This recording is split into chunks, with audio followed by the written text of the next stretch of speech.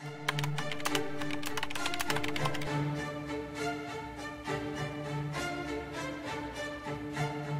everyone, welcome to our new video series. My name is Jan Gustafsson and I'm thrilled to be reunited with fellow Magnus Carlsen's trainers, seconds, Peter Heine Nielsen, Magnus Carlsen's head coach, and Laurent Fressinet, Magnus Carlsen's French coach, are both here and we will be going through the World Championship match 2021.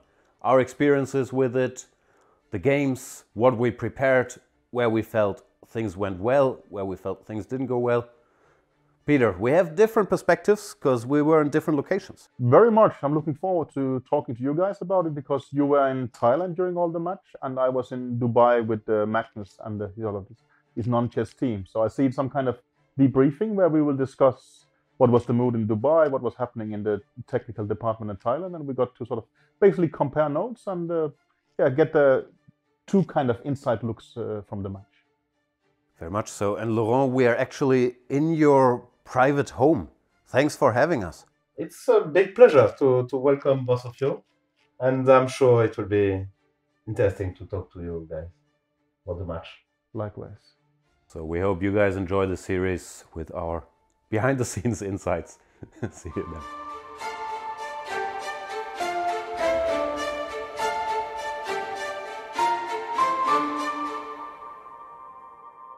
Locally produced.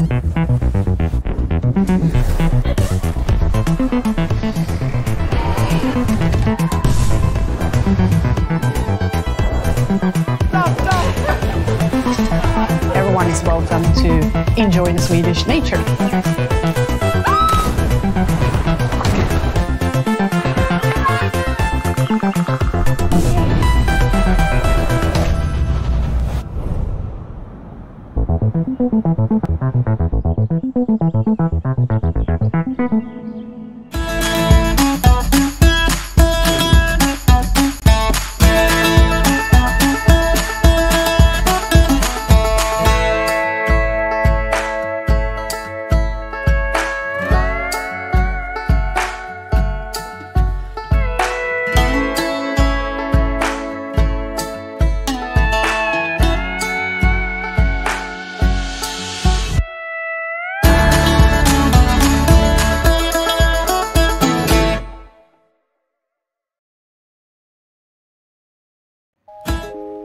Really know what my expectations were when I grew up. I just wanted to make games. I didn't really consider where that would take me. Today, I am the Chief Creative Officer here at Mojang in Stockholm. We have uh, more than 120 million monthly active users and more than 200 million sold copies of Minecraft.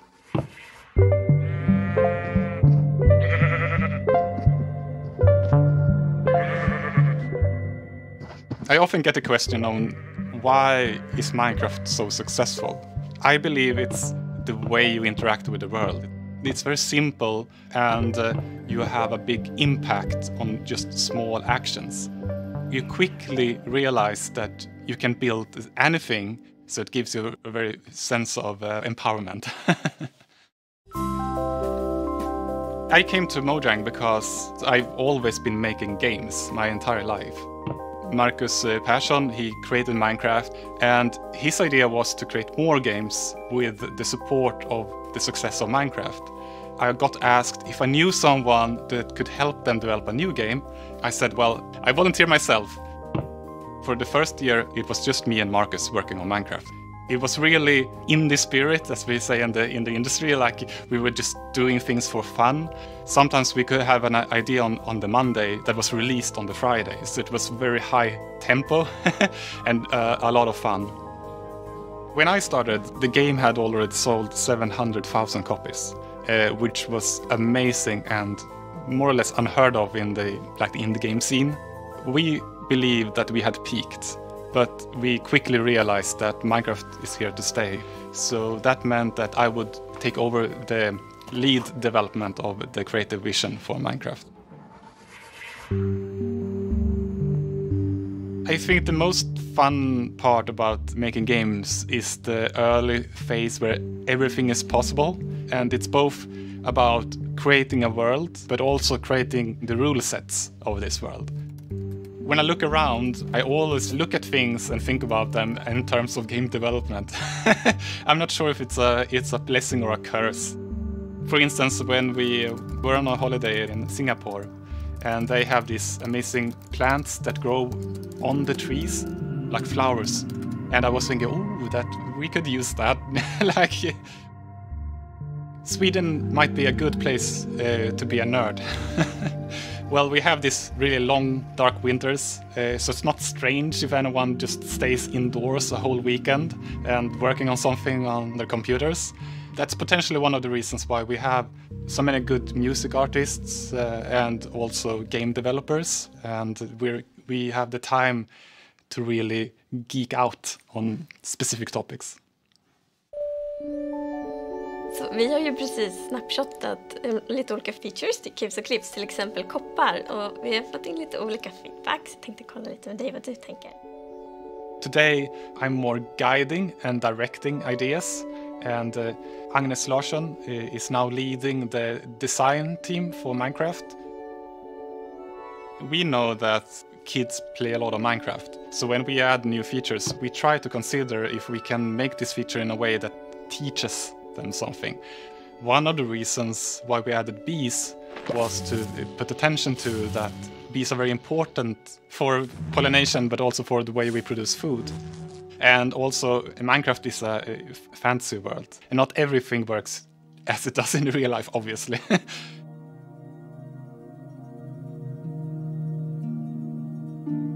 when I play Minecraft with my son, I build things, and my son he wants to go on an adventure.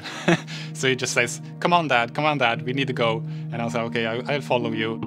When we're out, exploring, I'm more like, "Oh, can we go back now?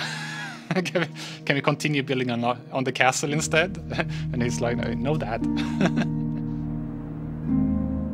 I'm always thinking about what I'm working on next you never really sit down and say, oh, this is it.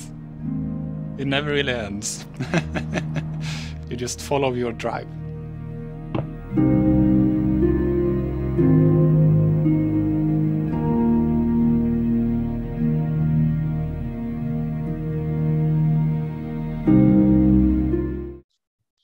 Hi, and welcome to the last game of this uh, special challenge match between David Howell and uh, Nils Grandelius. They're playing in the heart of London uh, at the Swedish Embassy. And uh, before this very last game, uh, David is leading the match uh, five to four and has the advantage of playing with the white pieces today. and I'm joined by Norwegian international master uh, Tor Fredrik Kaasen. Welcome. Thank you. Hi. So, um, Tor, I mean, thinking about the match uh, situation, uh, one game to go, mm-hmm. and David is playing with the white pieces. How how do you think that will affect uh, Nils's opening choice in this last game? Yeah. So yeah, as you said, uh, David is leading, so I think that will affect Nils in a way that uh, he will try to aim at something a bit more sharper than what he has maybe has gotten. Uh, as it's not pleasant to lose a match. It's the last game, so I think he's he's going to try to uh, at least play something playable, like uh, something which gives some counter chances for uh, Black. Uh, though it's uh, easier said than done, as David has played D4 and C4 here. Um, yeah, absolutely, and, and I mean. Nils is obviously, I mean, maybe one of the the very best uh, prepared players. I mean, in yes. the world, and has been working with Magnus Carlsen in the past. Um, do you think he even will consider uh, getting a position that objectively is is better for White, but will actually give him some some dynamic chances in the game? Mm-hmm. Yeah. So um, this is actually very in- interesting. So here he has played the e6. So usually Nils plays the Grunfeld defense, as uh, as far as I know. Uh, but I think that in inside the Grunfeld, White has many ways to play a sort of a risk-free position. Perhaps not with an edge, but it's very hard for for Black to uh, get some real winning chances. So that is why I think he he here has prepared to play e6 and wants something playable in inside there. Um, I I think not necessarily he's going to choose something which gives White an edge, like ob- objective speaking, but maybe something which is not as solid, maybe as as what he would usually do in a normal game. I think he's he's maybe going to play something a bit more um, fighting, but I'm not sure what. Uh, and I they, mean, will be And I- exciting to see. And uh, and I guess if he manages to to get David a bit, uh, uh, catch him a bit off guard, um, maybe he will will get some chances with with the black pieces. But not sure.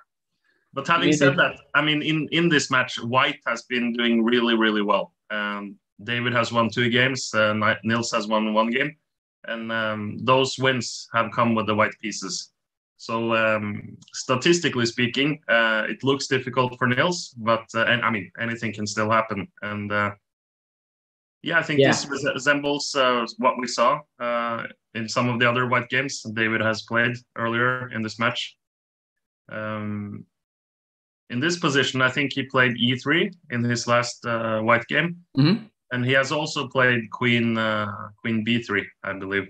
Queen b3. Ah, okay, that's a sideline. Uh, queen queen to b3 is not so often played. Uh, and I I think black then goes c5 after queen to b3. Maybe okay, it's several moves, but I I think like the fate of these games is a bit also in David hands, as if you with white like wishes to get very solid. Is not so much that you can do with uh, um, black, but okay, I guess we will see if David plays e e3. I think it's pot- potential for a bit more fighting game. Uh, but- But he plays queen to c2, uh, which has a reputation of being very very solid. Uh, and um, I'm not sure uh, what what Nils is going to play here. Uh, I'm sure Nils is not too happy seeing queen to c2, unless he has something very nicely prepared here. So, so you would say this is the most solid option for white? Yeah, yeah, I would say so. Queen to c2 is very solid. Um, And, um, I mean, I have to ask because um, we've been talking uh, how Nils should approach this this last game uh, with the black pieces. yeah, But psychologically, it's also tough for David because, I mean, he will be happy with the draw. He's winning the match. You know, he's uh, uh, secured the win in the match and, and gaining some rating points uh, and so on. But but to try and play for a draw, even with the white pieces, might backfire. And I think we've True, seen yes. so, so many times that uh, that might happen. So so yeah, what yeah, yeah, it's very common. It's like uh, when you're playing for a norm and you only need a draw in the last round. Like if you're leading some tournament, you you, you sort of go a bit more passive. Uh, like I've fallen in into this trap myself also several times, and uh, okay, especially for my playing style, it really doesn't suit me playing solidly. So or not so solidly. Yeah. So uh, so yeah, it's like not easy for David also. Uh, and I, think the best thing to do is just to try to approach it as a normal game, but to try to keep the uh, what's what's happening on the board uh, under their control. Um, so something safe, but um, yeah. So I I'm not sure what what Nils here is going to to play. Uh, I I think move d5 has gotten some um, like it's sort of trendy nowadays. Yeah, and there there he goes with with d d5. If uh, Nils instead of d5 would have uh, played short castles, there was a poss- possibility that David would play the e4 line. Uh, and here uh, it's okay. You you can play d d6, and this is something which Nils maybe could have considered doing. Like uh, like it's not so bad, but objectively speaking, not 100% sound. It gives playable positions, but the objectively best move is d5, and here is a lot of uh, uh, lines which usually white is not risking so much. So so that's why I I think David here chooses uh, Nils here rather uh, chooses to move d5. And uh, if uh, White wants a bit more fighting game, he can take on d5, which is what usually he does, and play like gets uh, quite sharp action. Actually, it's very exciting positions. But to move a a3 is probably the most solid you you can do there also. And um, so uh, so the thing is, um, if uh, here you castles and say white now plays a a3 that's the idea behind queen to c2 is that after bishop takes c3 you can take back with the queen. Here the arguably best move for black is is to play d5 uh, but this leads to very very solid positions uh, for for white. I think it goes something like bishop to g5 and okay black is fine but it's very few winning chances uh, but here after move d5 uh, i think what david is trying to achieve is to transpose into those lines here by playing the move a HV here, and it's uh, quite likely to to transpose uh, into familiar lines here. Uh, but okay, I I think Black has ways to sort of deviate also with playable position. So let's I'm I'm interested what Nils is going to do here. And I mean, uh, at some point, David also knows that Nils um, has to achieve something in this game, you know, with the with the black pieces. So so maybe it's it's sensible for him to have a solid approach, uh, even though he's not necessarily thinking about uh, drawing quickly in any way, but just um, basically telling Nils, okay, I'm I'm happy with the draw. I will just play solid, and then it's up to you to create something. And and that might also backfire for Nils again, you know, if he's trying too hard. Yes. Um, and some positions are, you know, it's it's quite they are quite equal, or uh, it's difficult to kind of come up with with some um, dynamic play. Yes. And uh, maybe this is also one uh, one way for David to to approach this uh, this final game. Yeah. Yes. So like the the dynamic thing in this position is is that after a HV bishop takes c3 queen takes c3 uh, white has the bishop pair uh, but black has the better development, so his piece is better developed. Uh, that is why this position is like uh, approximately equal, since it's the question: is the development more Im important or the bishop pair? That is why often the theory makes black go very like aggressively to compensate for for the fact that white has the bishop pair. But but in doing this, often the game gets quite simplified that is why it's a bit hard for Nils to to sort of just just, just play slowly and, to take it as a game, since often then white is is just slightly better with the bishop pair and so on.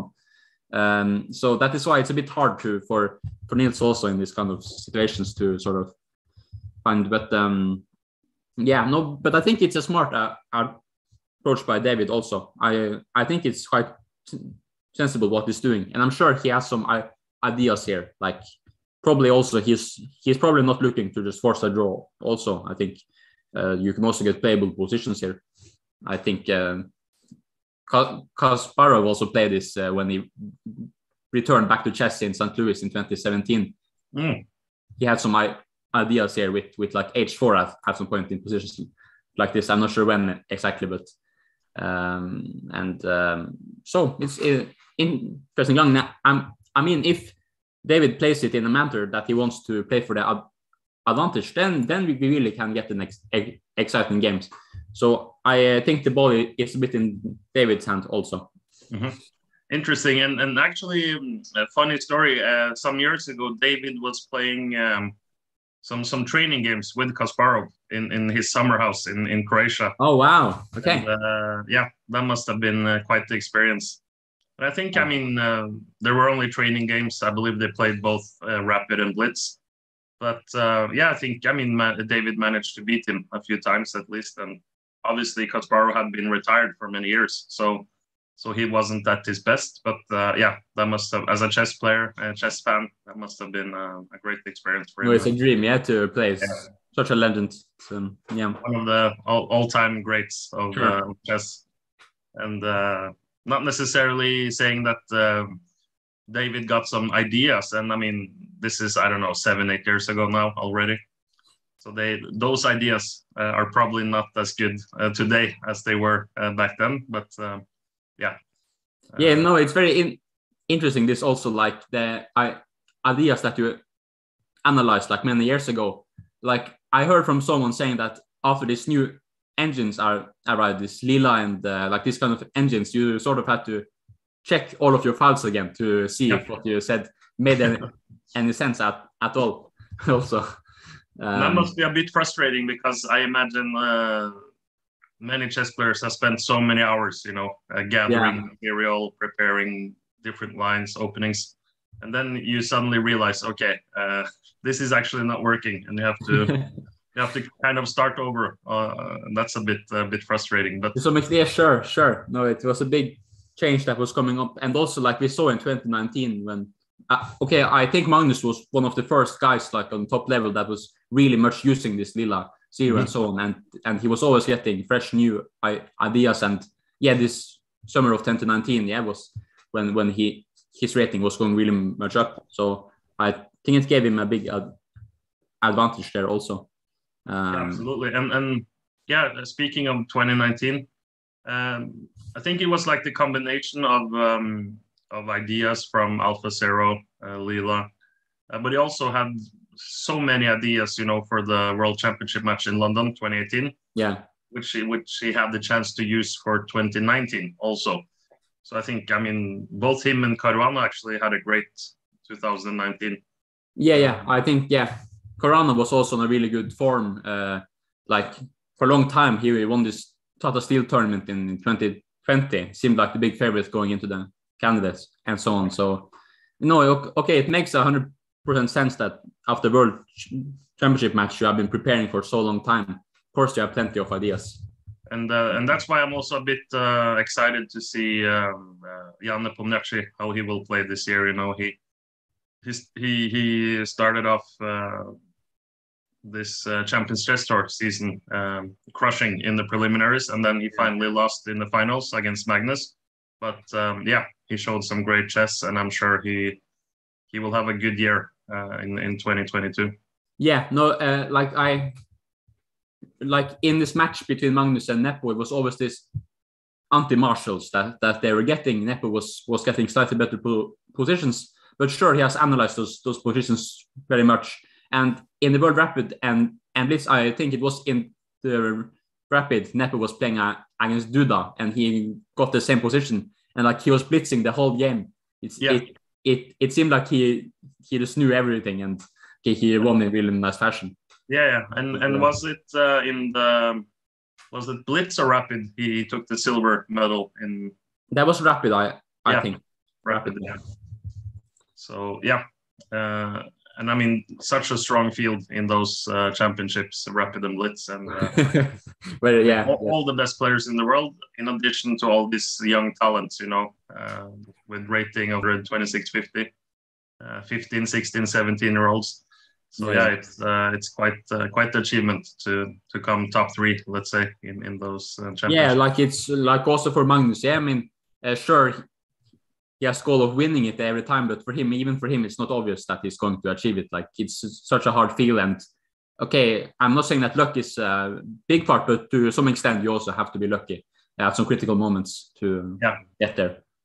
Absolutely. Um, and um, I do have to remind everyone uh, of this uh, fundraiser we're doing, a joint effort between Chess24 and the Norwegian Refugee Council. We have had some technical uh, difficulties um, last couple of days, but this is the final day and everything should be working now. So um, uh, as you can see on the broadcast, we have a QR code. Um, just tap your phone and uh, it should be quite uh, simple and easy uh, to to donate. And uh, we we can also post the, link to the donation site in in uh, chat.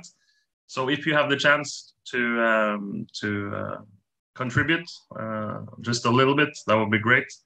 Hopefully, we can uh, at least reach uh, ten thousand dollars. We're currently at nine thousand seven hundred and seventy nine dollars. So if we manage that, that would be fantastic. And uh, I'm sure we will get some some other significant contributions uh, during the last day. So um, everything helps, and we are also following the the chat. So um, we will pay uh, attention to that today. So uh, if you have any questions at all, comments about the match, um, so uh, join the conversation. Mm. And, uh, as Brian has said, hi and good evening. So welcome, Brian.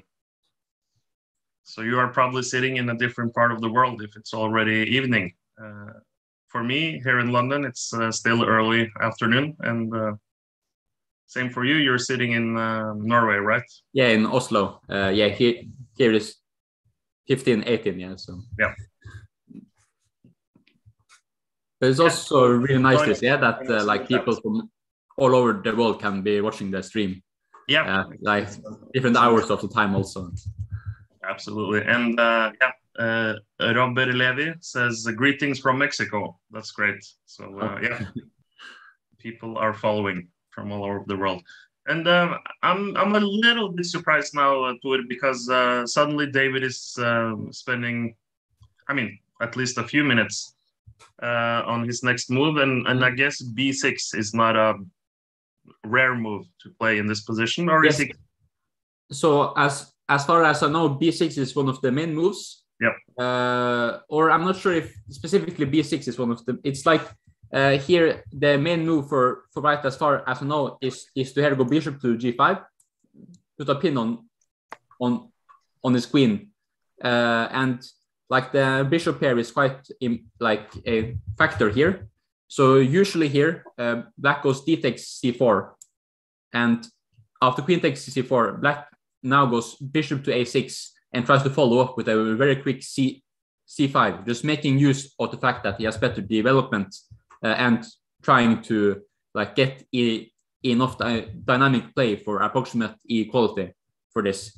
But I think like here after b6, I think d takes c4 is is the main move. So perhaps David is a bit like slightly confused by the move order.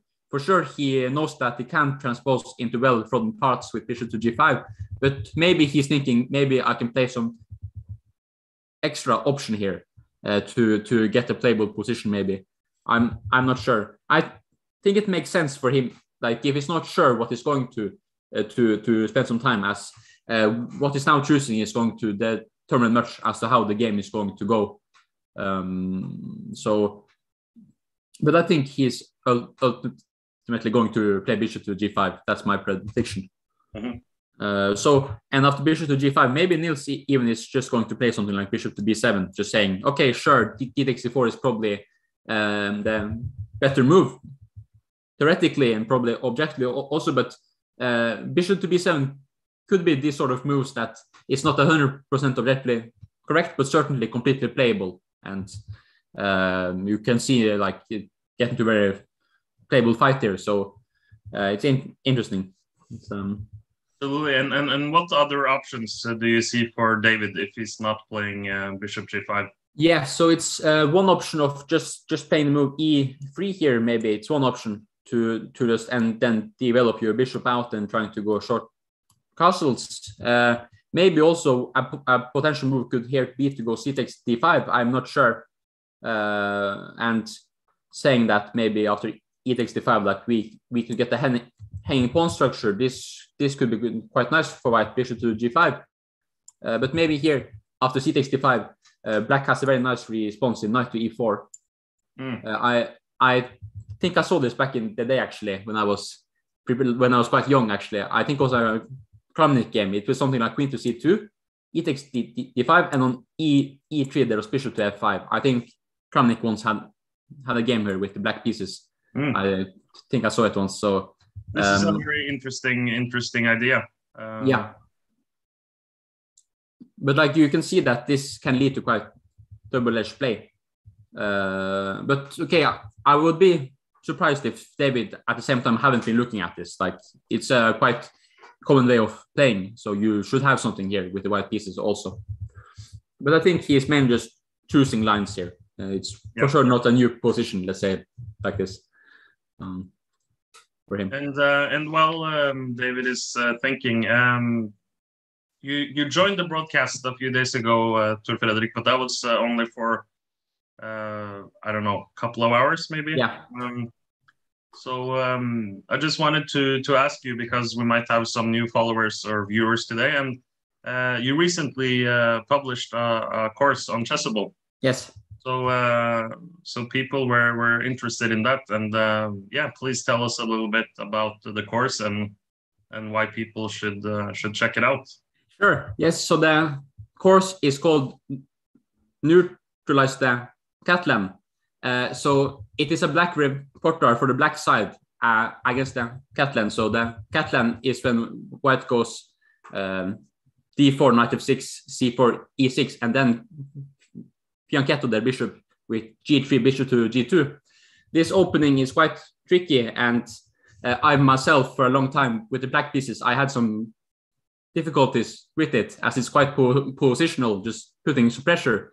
So I have been trying to make a repertoire for the black side uh, aimed at sort of uh, like sound po- positional play, uh, but also keeping some winning chances and uh, showing uh, like many typical middle game po- positions that is very likely to uh, arise. Um, and I I think what I've chosen is like a very nice solution, which like white should not be better objectively, but but also black has many chances to play for the win, and often we we are a pawn up and like these kind of things. It's very dynamical. So in case you are struggling with the Catalan, you're not sure how to play for a win at at all, uh, and you're often just getting worse positions. Uh, I think this course can be for you. Um, right, and um, we have um, pinned uh, the link to to your course in the chat, so uh, feel free uh, to check it out. And uh, yeah, it sounds uh, sounds like a very yeah. and uh, also on the course page, like if you have any questions, feel feel free to ask to use the forum there. I'm quite active, and you can ask any questions you want, and I will try to respond. So yeah, perfect or or write in the chat here uh, today. Sure, yes. Uh, as long as we have you here. Uh, yeah, perfect. And um, Anita saying uh, hello, morning from Texas. Morning. here, Anita. And um, I mean, it's been uh, this is the final game of the match. Uh, I have been been following each game, so so I just wanted to take the time to to summarize a little bit. it started off with Nils playing with the white pieces in game one, and he had a really significant advantage. Uh, we believed. I was commentating with Lawrence Trent for the the first uh, three days, and um, in the beginning of the match, it felt like uh, the player with the white pieces were doing very good, and uh, but somehow were was struggling to to capitalize on the advantage. And then finally, we, we got the we got the first win in uh, game five, I believe, uh, when um, or was it game four? Game four, maybe. Yeah, game four, where David had the white pieces, and um, it was this very interesting game that uh, led to a position where David had uh, three versus two uh, pawns in in a rook endgame, and um, Nils actually had this magnificent uh, defensive idea, but it, it felt so counterintuitive uh, to to place the pawn on e6 in that position and um, and then finally David found the, the technique to to win the game.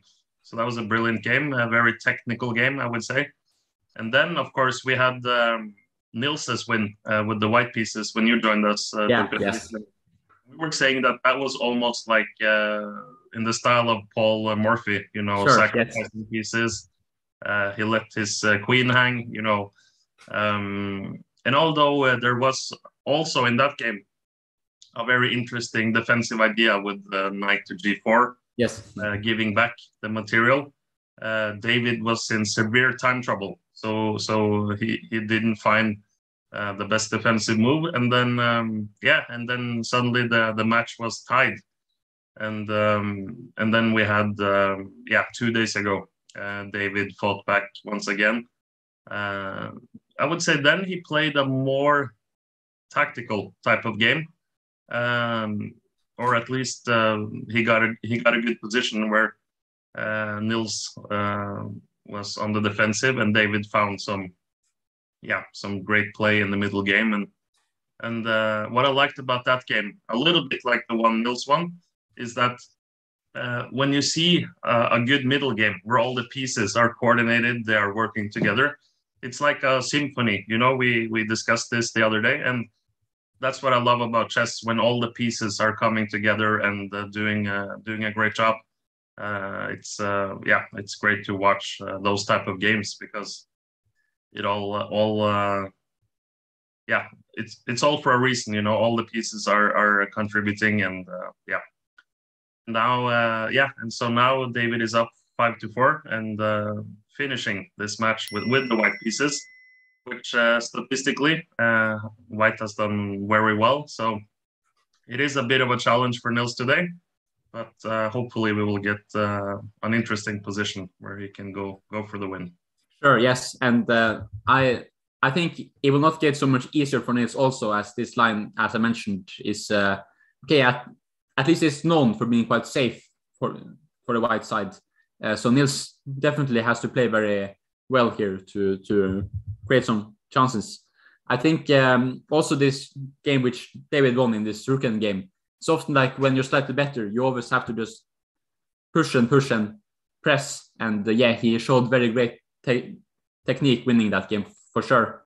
Uh, but it's like cool seeing like you can win in different styles. Mhm. Uh, this uh, this game which Nils once, uh, yeah, it was like like a Morphy game, uh, and also like when you see such games, perhaps it looks easy, yeah, like yes, sure, my pieces should go there, but Yeah. when when you try playing it yourself, you realize it's not uh, so easy, yes. So uh, that's what uh, like shows true mas- mastery of chess to play such games. Yeah, So- absolutely. And uh, we see that uh, Nils takes on on c4 quite uh, quickly. Um, Yeah. And um, I guess we expect David to take back. Yeah. So uh, yeah, it's like once again, white has the bishop pair. So but black has a bit better coordination. Like he has castles. He's going to get his bishop out with tempo. Uh, going to go c c5 and get the knight out. He has good play.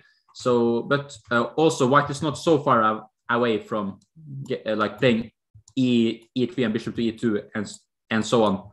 Uh, so Nils has to act, act quick here, uh, but also try to not go directly down a path where it's just a draw also. So it's really not easy uh, situation here. But um, yeah, Okay, so he takes back on c4, and now now we're expecting bishop a6. yeah. So I'm thinking uh, bishop a6 is quite likely to to to be played. Uh, then I I think white has a choice of either playing queen to a4 or queen to c2.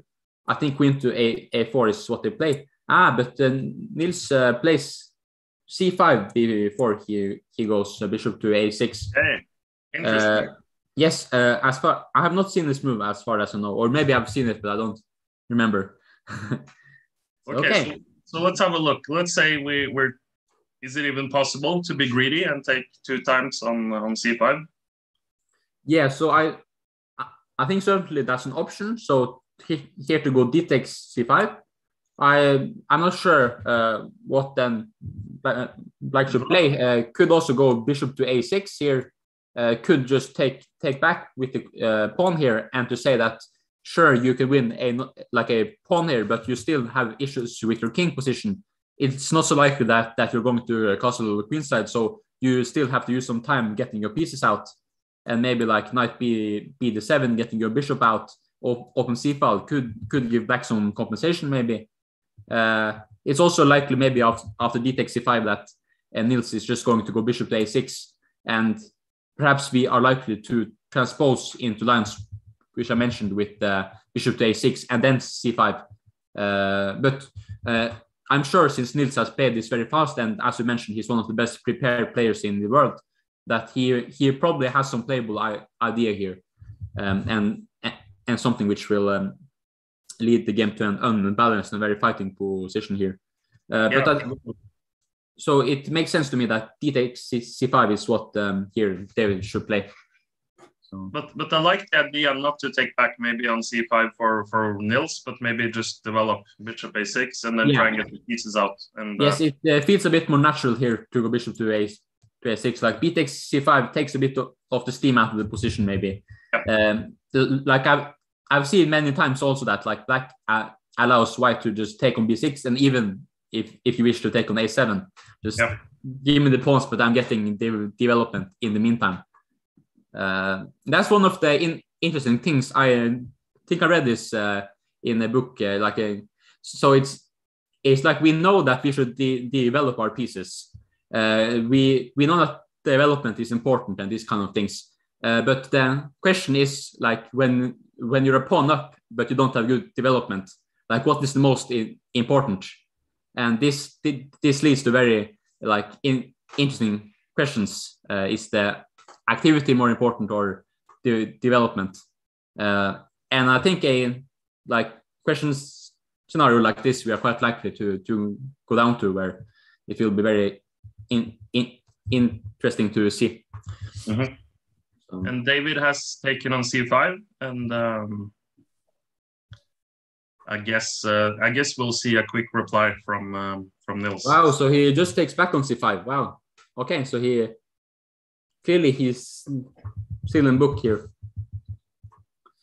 Mm, oh, But again, Okay, I guess okay. it makes some sense because uh, he will be able to play bishop a6 no matter what next move.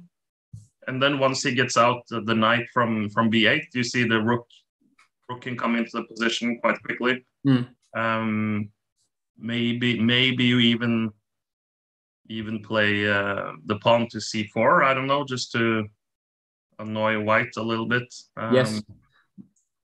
also get- here uh, a few times it like this diagonal is quite weakened so it might seem like uh, white is winning after bishop takes f6 queen takes f6 and queen to e4 it might seem very promising it's not sure how, how to defend but black has has the resource queen takes b2 hitting the rook and maybe preparing to go bishop to b7 at the moment um, and so i and also queen to c3 so this this will certainly not work for white and the development uh, will be way too bad. So bishop takes f6 does not work. And so, it- like, it's a question if white should actually, actually take this pawn. It's also a weak pawn, you, you could say. Yeah. But also by by playing like this, it has also opened up for the queen maybe to come to b6 maybe at a good moment to attack down on b2 maybe also. Um, so uh, if David is out of book here, this could definitely lead to very like it's not easy to figure this out Mhm. over the board. and it definitely seems like uh, black has a lot of compensation for the pawn. Sure. Yes. Open lines, um, getting out the pieces, and also in some some positions, I think uh, maybe white's b2 pawn can be a bit weak, Yes. uh, especially as long as the the, the black pawn remains on c5. Um, and as you said, the the problem for white in this position is that uh, the king is still in the center, and you have to spend three more moves actually to to castle, and that's um, yeah, that's a bit bit of a challenge for white. I would Yes. say. So it's like uh, the king safety is of course is of course very important. So like you might like uh, like we said in this one uh, Nils game where Nils won. Uh, sure, David was up in material, but his king was in such a position that it didn't matter in, in, in the end. Sometimes just having the weak king can, in the long run, result in uh, because the attack is so big that you have to give back material, and in the end you are not up in material but just down. Yes, so it's in, in- interesting these things. Um, here, so I I expect now David to think for quite a long time as as he likes to do, and Mhm. especially uh, especially now since the position is not easy to figure out. Also, so And, uh, and as you said, if if David hasn't analyzed this position uh, in his preparations, it must be quite difficult to to to come up with with the best moves. And um, we might see that Nils has has caught him a bit um, off guard uh, with this. Definitely, nice yes. idea. Uh, But I C5. think this is like the only matter in which you can play this variation with, with the black pieces if you wish to play for a win. Uh, so I I think Nils has succeeded more or less in creating a, a dy- dynamical game where where uh, white is not risk free. Let's say like it's very possible to to go wrong here with white. Uh, so I'm I'm thinking like David does not want to play something too fast and maybe lose in a fast way. Yeah, so he uh, wants maybe to choose like a more safe road here, trying to find something. Uh, I'm in interested like if white makes a move like e3, it do- doesn't look like such a good move. If black just goes bishop to a6 anyways and just develop it, but maybe like uh, in a position like like this, okay, I, I think a position like this should be quite good for for black, even though that you're a pawn down, the king just never castles here. Uh, so I, think a position like this should never be an issue for for the black pieces. That this pawn will always be a target, uh, and a5 can come with b4, just creating further lines. Um, so I would be quite like unpleasant here with with uh, black, uh, with white rather. Trying to think here. Um, maybe rook to d1 could be an idea, maybe. But it seems like uh, as this line is now op- opened up, you can consider like playing queen to a5 check, maybe, maybe, and just saying yes, you can get your bishop down, but then the pin is not so an- annoying. I was hoping like if I played uh, rook to d1, if queen to b6, maybe I could bail out with something like bishop to f6 and then swing my uh, queen over, maybe get some attack on the king. Uh, but queen to a5 seems like quite quite a good move here. Bishop d2, something like like this shouldn't be any issue for for black bishop c c3 we have maybe knight to d5 with big pressure. Bishop a6 is coming knight to c6 i think uh, black is doing quite well. So rook to d1 doesn't seem like a good move e either. But then i would be questioning what is the move for white? Like we have looked at e, e3 and rook to d1 bishop takes maybe in in the end david just have to bite the bullet and take on c5 maybe. Mm -hmm. not sure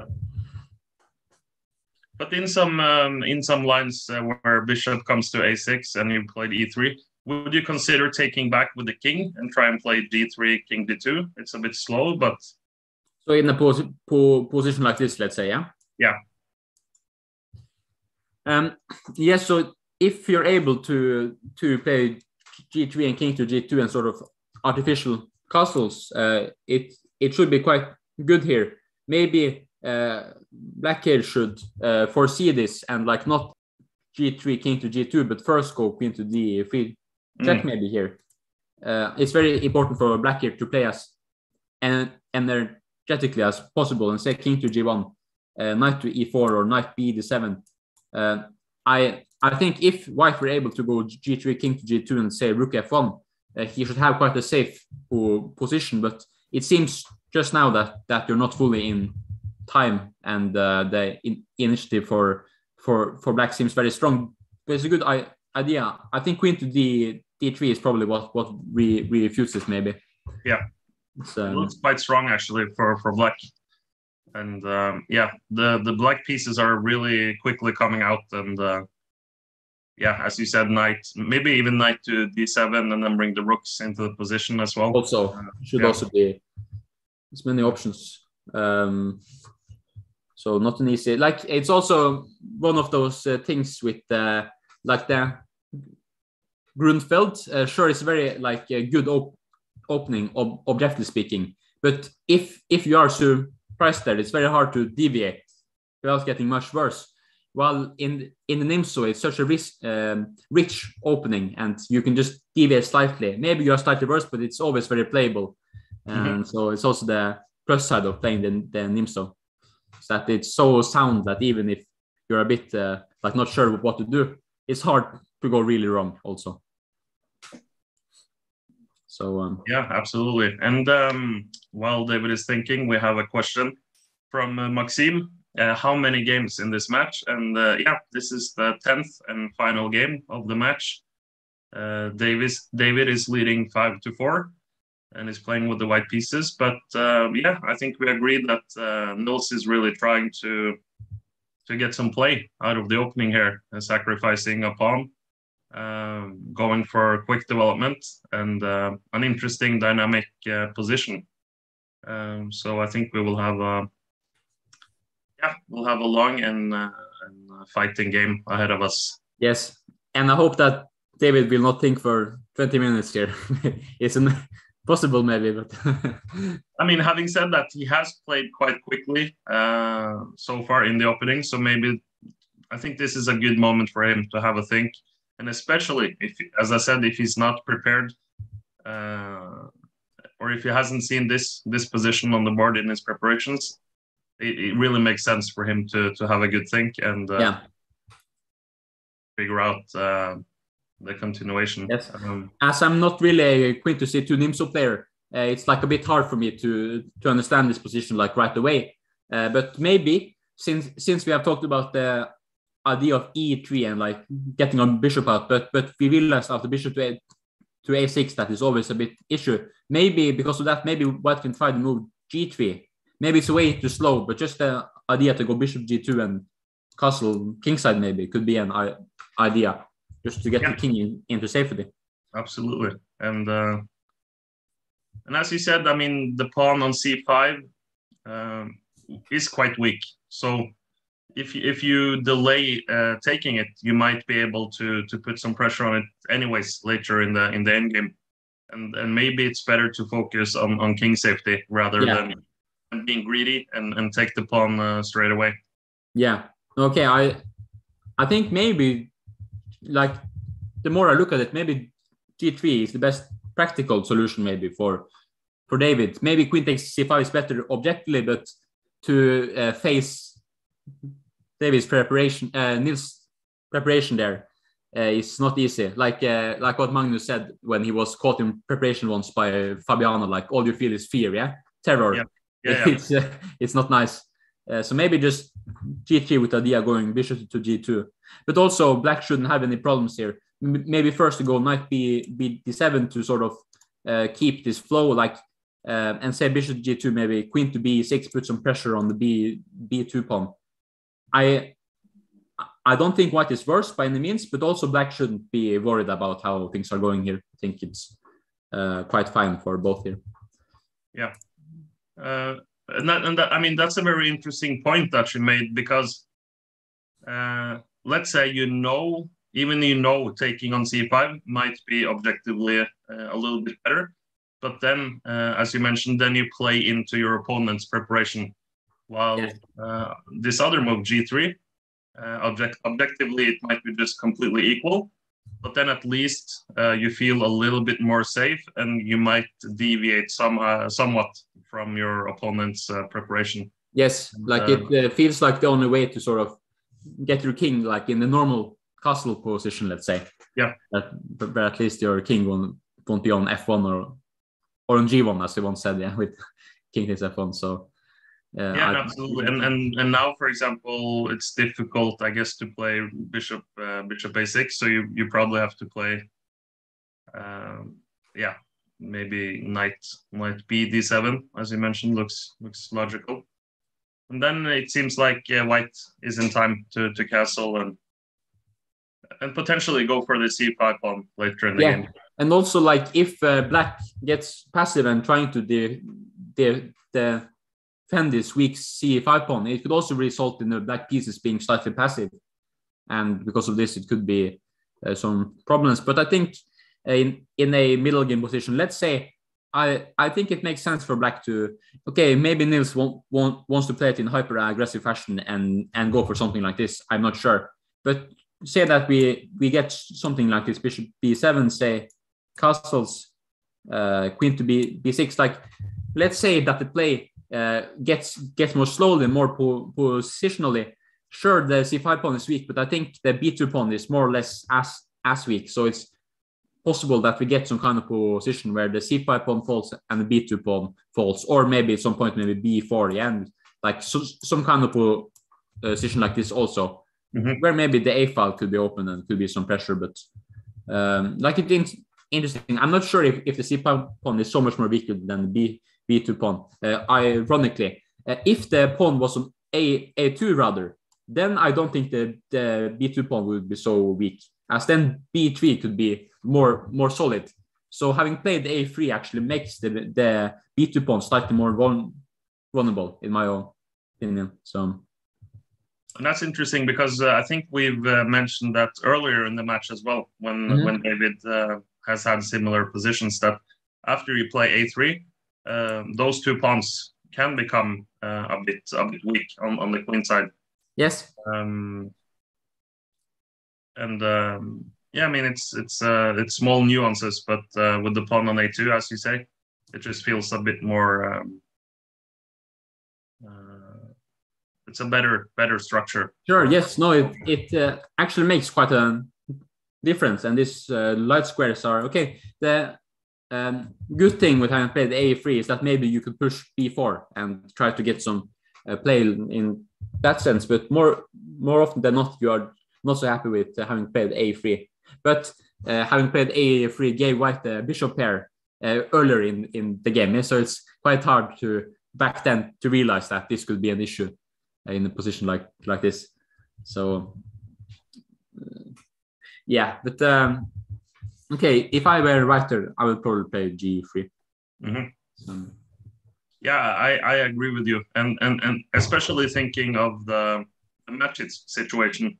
Uh, why would you risk now taking on c5 or or going for something that is really sharp? You might not be sure uh, what to do in the continuation, and when you have this sneaking feeling that Nils has prepared everything, so yeah, yeah, so it, I completely agree with you that it makes a lot of sense to to try and go for g3, but but we have Rook to C1. Wow, that's quite Okay. an ambitious move in my opinion.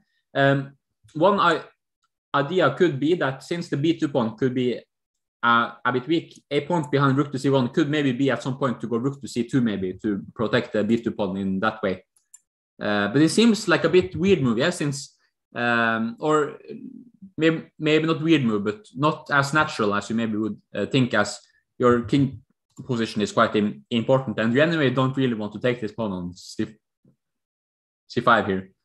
So, but um, okay, I'm not the most experienced in this kind of po positions also, so maybe it's a very natural move for queen to c2 names Nimzo player. Um, yeah. But I'm I'm I'm I'm I'm I'm impressed with David because I mean, as we said, it takes three moves now for White to castle, and and to then play a move uh, on on the queen side is uh, yeah, it's ambitious, and uh, he's basically telling Nils, okay, I'm I'm not afraid, I'm not afraid of this. I'm, sure, I mean this is quite a uh, brave move, let's say, yeah, like. Uh, I mean, David perfectly understands that, that that he has to get his king in, into safety, but even knowing that, he still decides to not do it. Uh, so that's for sure, since, since he has some uh, thought that that uh, rook to c1 is very important move to play here. And, um, yeah, no, uh, probably Nils now is out of book. Maybe I mean uh, sure he has prepared queen takes c5 and probably he has looked at some other options but surely not as deep as the most critical move. Yep. uh, like if you go as deep in every line to like at some point your head just explodes yeah? So you have to be practical. Yeah. So uh, maybe okay i'm sure Nils is familiar with the main ideas here and how to put pieces but maybe not specifically after rook to c1 which which could could be a bit um, unpleasant and often uh, you, you could end up mixing up moves as you think you have seen something, but it was not exactly in that position. Uh, as nowadays you have to look at so many lines, difficult to keep track of everything. Uh, so I expect Nils to be having some small thinker uh, at least, trying to know exactly what to do here. Mm-hmm. and uh, Gerard in the chat saying "Vamos, David." And I know a little bit Spanish, so I know that means you know go go David. and, uh, are there any Nils fans out there? Uh, let us know in the chat, and uh, if you have any questions or comments, uh, join join in on the conversation. yeah, but I mean, I'm I'm I'm I'm quite happy, you know, out of the opening uh, as a commentator, spectator. Um, that we'll, we'll we, we will see an interesting and exciting game, I believe uh, in this final game of the match. Yeah. And, uh, and, credit to to Nils for coming up with this um, entertaining and interesting idea uh, in this opening. Yeah, and I think uh, okay, Nils is one of the best prepared players in in the world, so he's always using these best en- engines. Um, but I think one of the things which the new engines have taught us is that often lines that were thought to not be playable is actually very playable Mm-hmm. Uh, and in some senses, this this makes chess a lot richer since it uh, just it makes it possible to play so many more lines and, and many more concepts. Uh, so this C5 is yeah, I'm sure it's very. I'm not sure if it's a novelty. Maybe someone could look it up, but it looks very cool and. Um, and uh, absolutely, and, and, and as we as we discussed uh, in the opening uh, or you know before the game, um, Nils has to try and achieve a position where he can get some initiative, even with the with the black pieces. And I would say that this uh, has been a success for him so far in in yes. doing that. And uh, if we're looking at the bar, I mean, it's it's uh, equal. It's an equal position, but um, lots to play for. Uh, yeah, yes. for black, and um, he might even get uh, get the small initiative going into the the middle game. So yeah, I would think so far for for Nils. Yeah, sure. I mean, you really can't ask for, for anything more than this uh, inside this specific line. Uh, and yes, the position might might be equal, but it's with a lot of dy- dynamical questions also. Uh, since the pawn structure white is slightly better, but black is better developed, and this kind of things. This this makes for an imbalance and uh, both sides have to ask uh, to answer many questions, and it's not always you do do them right. So definitely a lot of chances here for both sides. Definitely here. So I'm I think here Nils is trying to understand like uh, uh, in which way is is going to develop his pieces here. if he plays knight knight b b d7, maybe it won't be as easy to to play bishop to a6, and maybe as a result of this, David now could go e, e e3 and go bishop to e2. Now as bishop to a6 isn't as as much uh, of an issue. Could could be a point. So and so maybe Nils thinks about going bishop to a6 anyways. Maybe not Yeah. sure. Um, Another thing though with um, playing rook c1 is that let's say you go bishop a6 now, Mhm. um, and then you take on c5 because after knight b in d7, you can try and play queen uh, queen c7. Maybe yeah, queen to c7. I don't know if it achieves anything, but uh, maybe you can just play uh, queen e7 Yeah, and just going out of this. Uh, and then uh, rook c8 is a bit annoying. Yeah, Um, it could also be an uh, in, interesting to to just take on C7 there and say, okay, generally speaking, I I do not wish to ex- exchange queens, but in in the process of doing this, say, let's here say rook fc8 takes takes, I have managed to exchange off all of the active pieces of um, white, and as a result of this, the black pieces is really quite strong here. Yeah. Uh, and I think a position like this should give black plenty of compensation. Rook to c2 is coming. If you move your king, uh, the knight can e- easily come into the game. Yeah. So I think also this is knight, but also queen to e7, which you mentioned, also feels uh, good. I mean, um, this is the next extra option, but also the rook on c1, like it's an active piece. You maybe don't want to ex- exchange it for the moment. So Mhm. this would feel quite risky also for for David. So yeah. Maybe you have to go back then to, to c2. Yeah, queen to c c2 could here be a move, maybe. I'm not sure. But then uh, also, why did you then play in rook to c1? Yeah, like it feels a bit artificial to having played this. Also, uh, another point which I see behind rook to c1 is that he imagine that here Nils wants wants to play uh, h6. Maybe maybe now uh, David now can take on f6, and, and after queen takes f6 with with the rook on c1, he has an extra option here of going queen to c3 before taking on c5. Yeah. Sort of saying, okay, either we exchange queens and like it's very solid position, it's hard for white to lose, or you let me take on c5 without having the option of going queen takes b2. This this could also be quite a serious point behind rook to c1. Also, so um, yeah, now now it's up to Nils to find the most precise way. I would think he would seriously consider just going bishop to a6 and just sacrificing the pawn on c5. But but this, I guess this is not an option. If you go bishop a6, then this idea taking on f6 and queen c3 uh, is not working. I guess because then black has rook c8. I guess in the Yeah, end. like it, it's possible to also play play like this, but then black has gotten bishop to a6 instead of h6, and I th- think this is a big improvement as uh, you could at some point maybe get rook to c8 at the moment. Okay, not right away as you have some background issues, but maybe in the future, yes. And I think it should give black quite decent play also, but it's also an idea for white, surely. So uh, okay, I'm I'm starting to understand the point behind rook to s- c1 now a bit more. So great. Okay, so maybe because of this, bishop takes f6 and queen to c3, maybe it it's smart for of Nils to go knight b b d7 maybe just to not give this option. And in case of bishop takes f6, okay, you now you can also take with the knight, but also with with the queen, and the c5 pawn is not really hanging, uh, so it's not as uh, effective. Also, um, so yeah, now it's up to Nils. Fine. Um, yeah. So knight b7 or Okay, we have a we have an interesting question uh, from Island twenty two twenty. Uh, if we had in play uh, betting in chess, so for example, if you are watching a football match, uh, you can bet, you know, on the match even if it's uh, let's say nil nil at halftime. You can still bet, you know, if this team will win or yeah. So his question is, if if we have that in chess, would the current position indicate the game will play out as a draw or a win? uh, for one of the players. So, what would you put your money on uh, after seeing this position out of the opening? Yeah, um, it's difficult to say. Um, I I think when such good players are playing against each other, I think the odds will always be in favor of, of a draw, like more than 50%, let's say.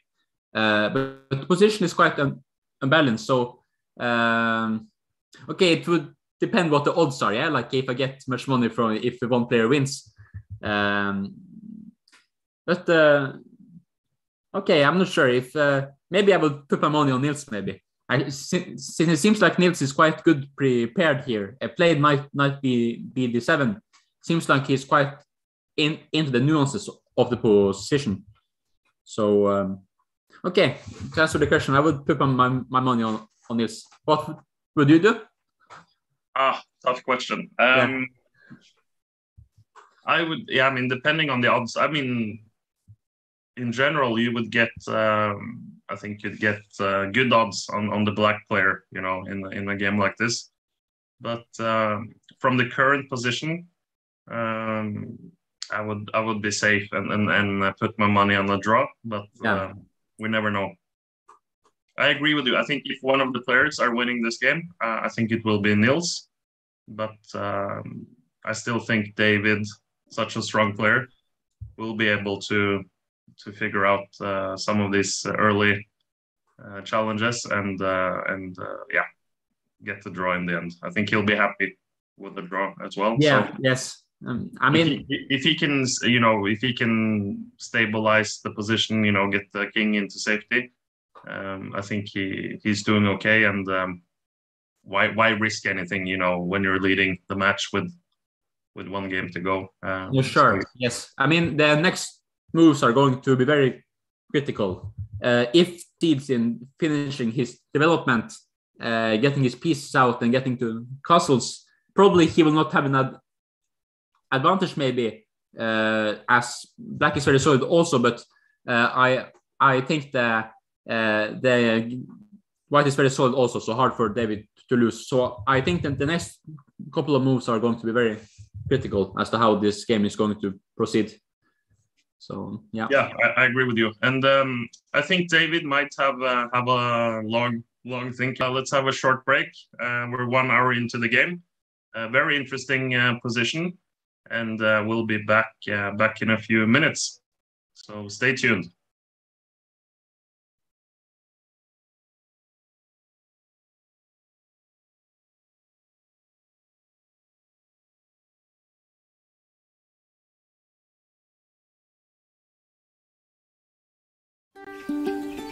I moved away from the city 13 years ago. I worked as a journalist, I studied in university, but there was a sense of longing towards something a bit more real where I could actually create things and, and uh, be much closer to nature. I'm a vegan farmer. That's a bit unusual, but uh, that's what I am. It's a long story.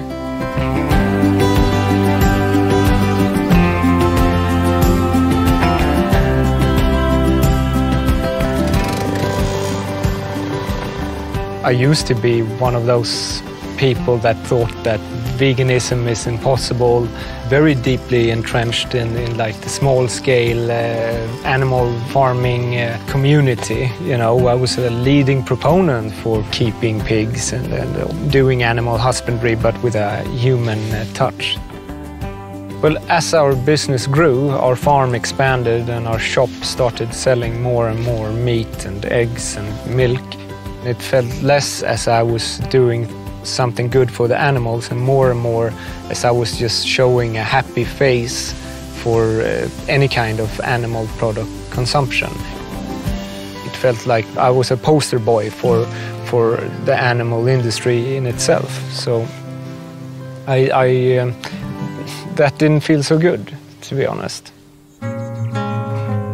So we're picking for the bags and it's 15 bags. That makes uh, about three kilos, just a little bit extra to be sure. I came across veganism on YouTube actually and um, a lot of the things they were saying started to make a lot of sense. The first year or so was really difficult. I made a lot of enemies, unfortunately, because most of my friends were also farmers with animals on their farm.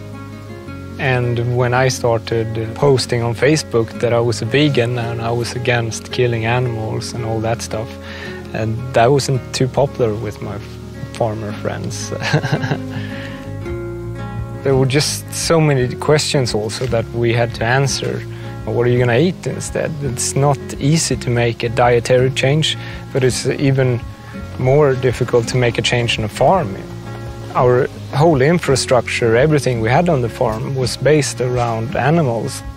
We sold the animals, uh, took down all the fencing, we tore down the animal houses. Uh, and uh, if you don't have animals, you still have to uh, produce something on your farm, obviously. And we put a lot of effort into growing different beans and legumes.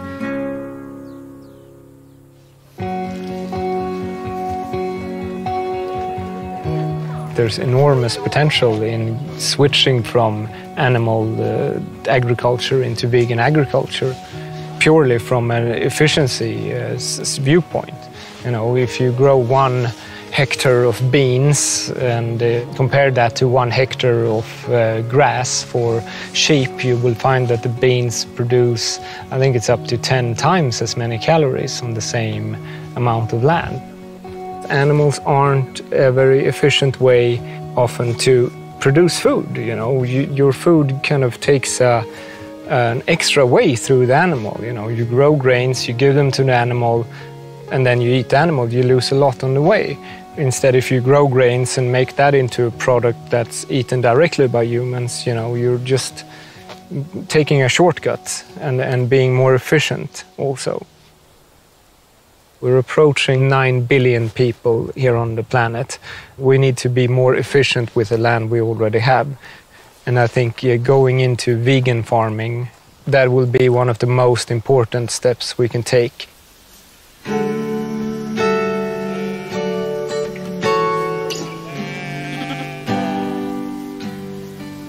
I still have friends who have animals. Uh, I don't mind that. There's many places that are not suitable for vegan farming. You can only grow grass there.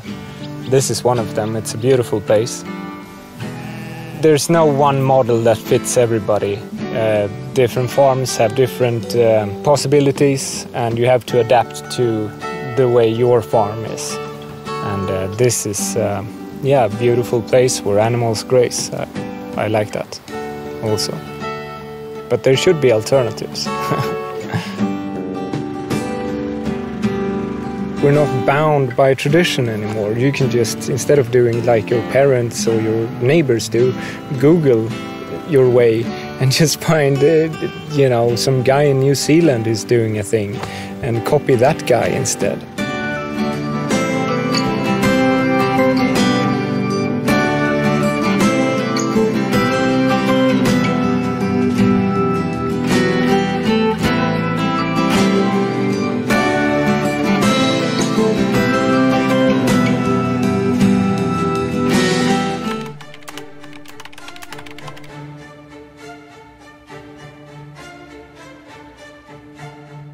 Hi everyone, welcome to our new video series. My name is Jan Gustafsson and I'm thrilled to be reunited with fellow Magnus Carlsen's trainers, seconds, Peter Heine Nielsen, Magnus Carlsen's head coach, and Laurent Fressinet, Magnus Carlsen's French coach, are both here and we will be going through the World Championship match 2021. Our experiences with it, the games, what we prepared, where we felt things went well, where we felt things didn't go well, Peter, we have different perspectives because we were in different locations. Very much. I'm looking forward to talking to you guys about it because you were in Thailand during all the match, and I was in Dubai with uh, Magnus and the, of his non-chess team. So I see some kind of debriefing where we will discuss what was the mood in Dubai, what was happening in the technical department in Thailand, and we got to sort of basically compare notes and uh, yeah, get the two kind of inside looks uh, from the match.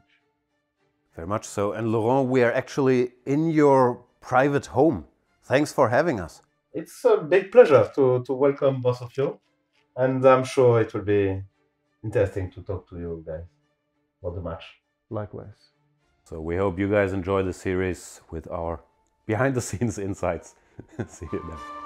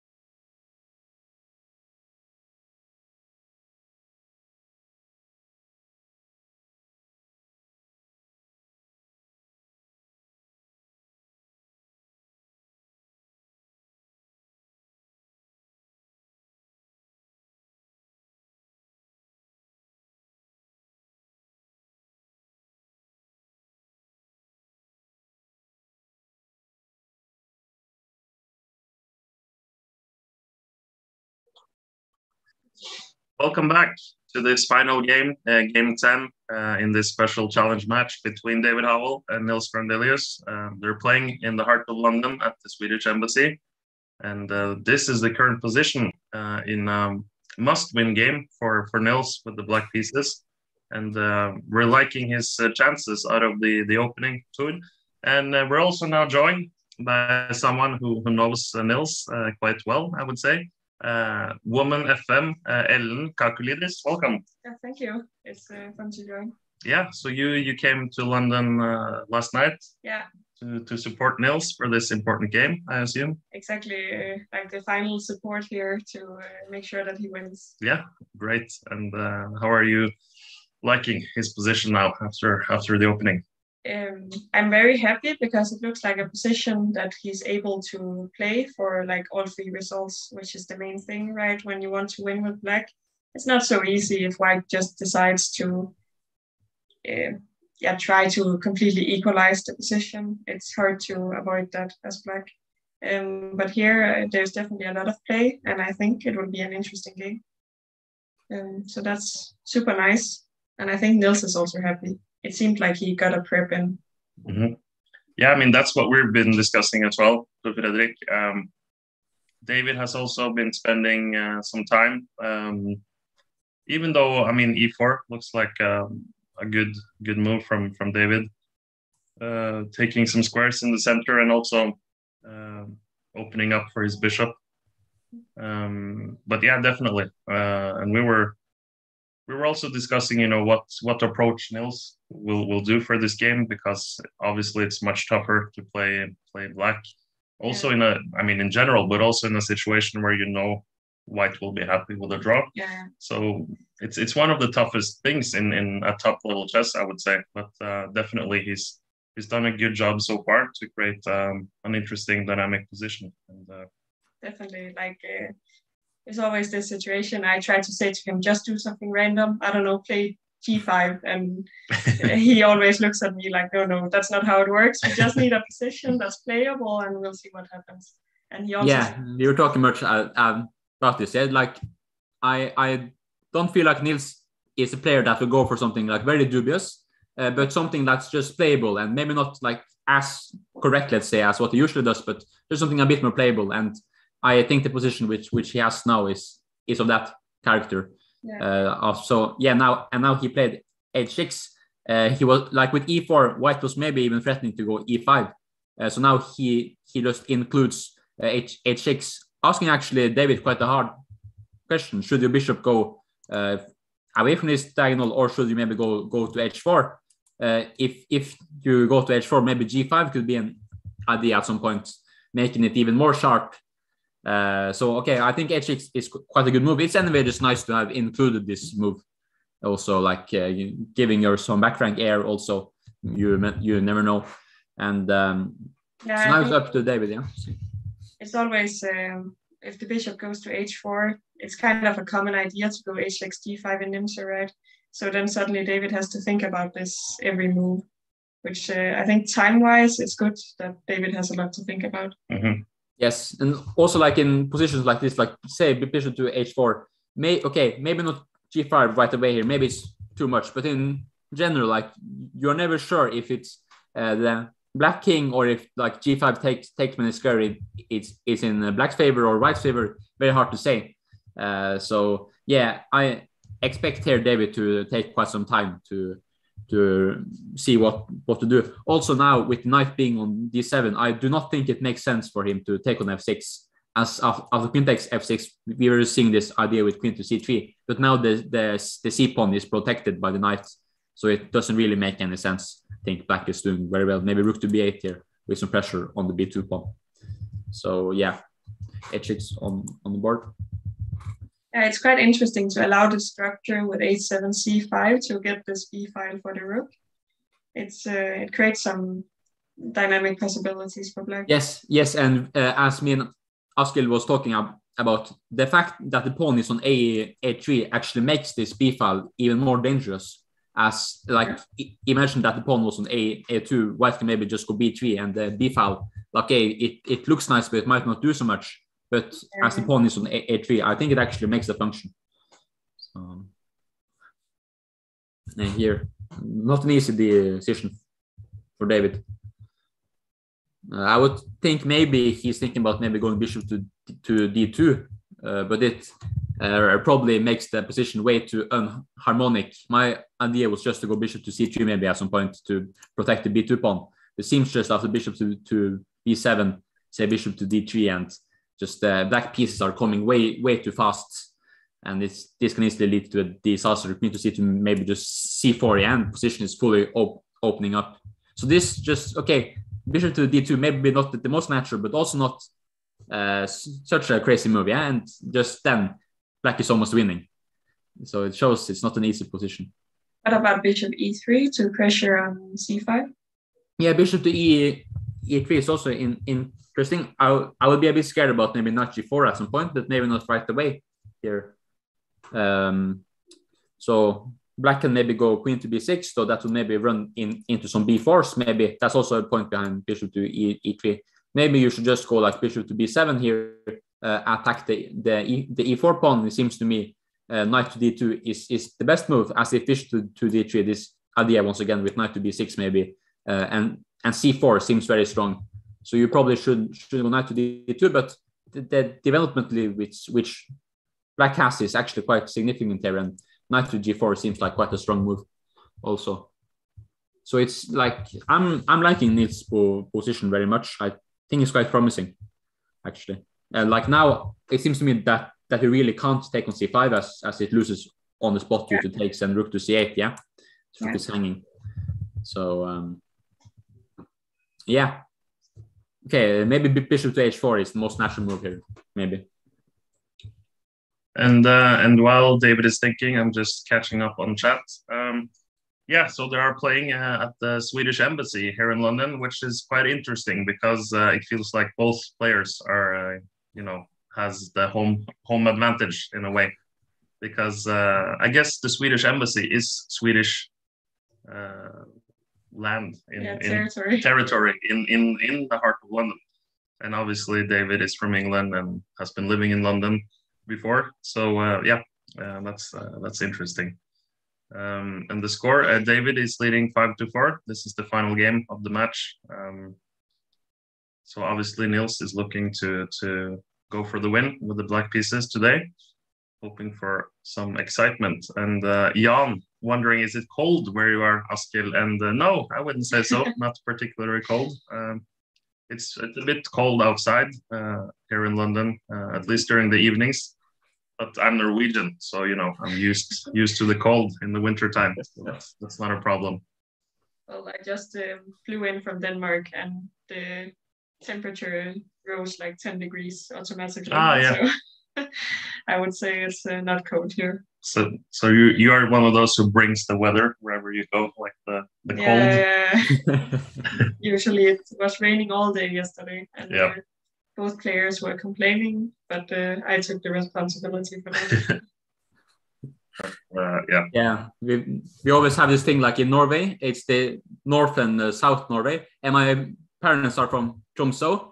And they're always, uh, like in Tromsø, it's not so good weather. And then they come to Oslo and like they bring the bad weather to Tromsø to Oslo very often. so, yeah, that's how it is. I guess yeah, you are also used to the cold, uh, Fredrik. Yeah, no, I am from Tromsø in, in uh, North Norway, so it's uh, quite cold there often. Uh, there, it, in the summertime, if it's 15 degrees, you're quite happy. Mm, okay, yeah. okay, but now I live in Oslo, so I'm more used to uh, like a bit more hot, yeah, but uh, still. Yeah, I'm, I'm quite used. Yeah, absolutely, and uh, I would also recommend everyone. I mean, Oslo, great city to visit, especially in the summertime. So it's great summer summer city, and yeah, as you say, a lot of chess stuff going on uh, in Oslo. Uh, the famous Good Knight Chess Bar. Come and check that out if you ever go there. And uh, yeah, we have a lot of chess players living in Oslo. I mean, it's, um, yeah, it's a good good community. And um, yeah, we have a good question from Tom. Uh, what happens if Nils wins and tie uh, tie the match? Um, originally, I think they uh, were planning to maybe have some some tie breaks with rapid or, or blitz chess. But uh, yeah, in the end, I think it will be a, a tie if it's uh, if it's five five and they they share share the title. Uh, I think it makes sense. You play a 10 game match, Yeah. long games, and if it's super exciting, it's a bit uh, anticlimactic to decide what happens in a rapid or blitz game, right? So, yeah, and and uh, I mean this is a friendly friendly match um, put um, put together by a private sponsor. So obviously, if it was uh, you know the World Championship, uh, they would have played tie breaks or uh, yeah. Also, I mean the players must be a bit tired. Uh, yeah. 10, 10 long tough games, um, and uh, probably wants to enjoy uh, a free free night in London after after the match um, instead of playing uh, many more hours the time breaks. I was discussing this morning with Nils that uh, he says he plays 100 games a year now. Wow. And that it was actually quite a lot. Uh, Classical games? Yeah, classical Wow. games. And I don't know, I don't think I ever played this many. I mean, yeah, that's that's quite incredible. Hundred games per year, classical chess. Yeah, that's So, that's uh, impressive. 10 games in a row, it's uh, you get tired. Yeah, yeah, yeah. obviously.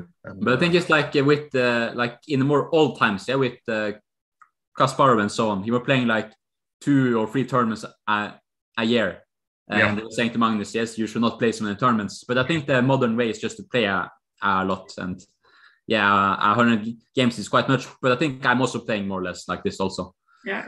So He always uh, tell me, tells me this story of when he was 15 or 16. I think he went to to Russia also to play during the summer, and he played within, I think it was 50 days.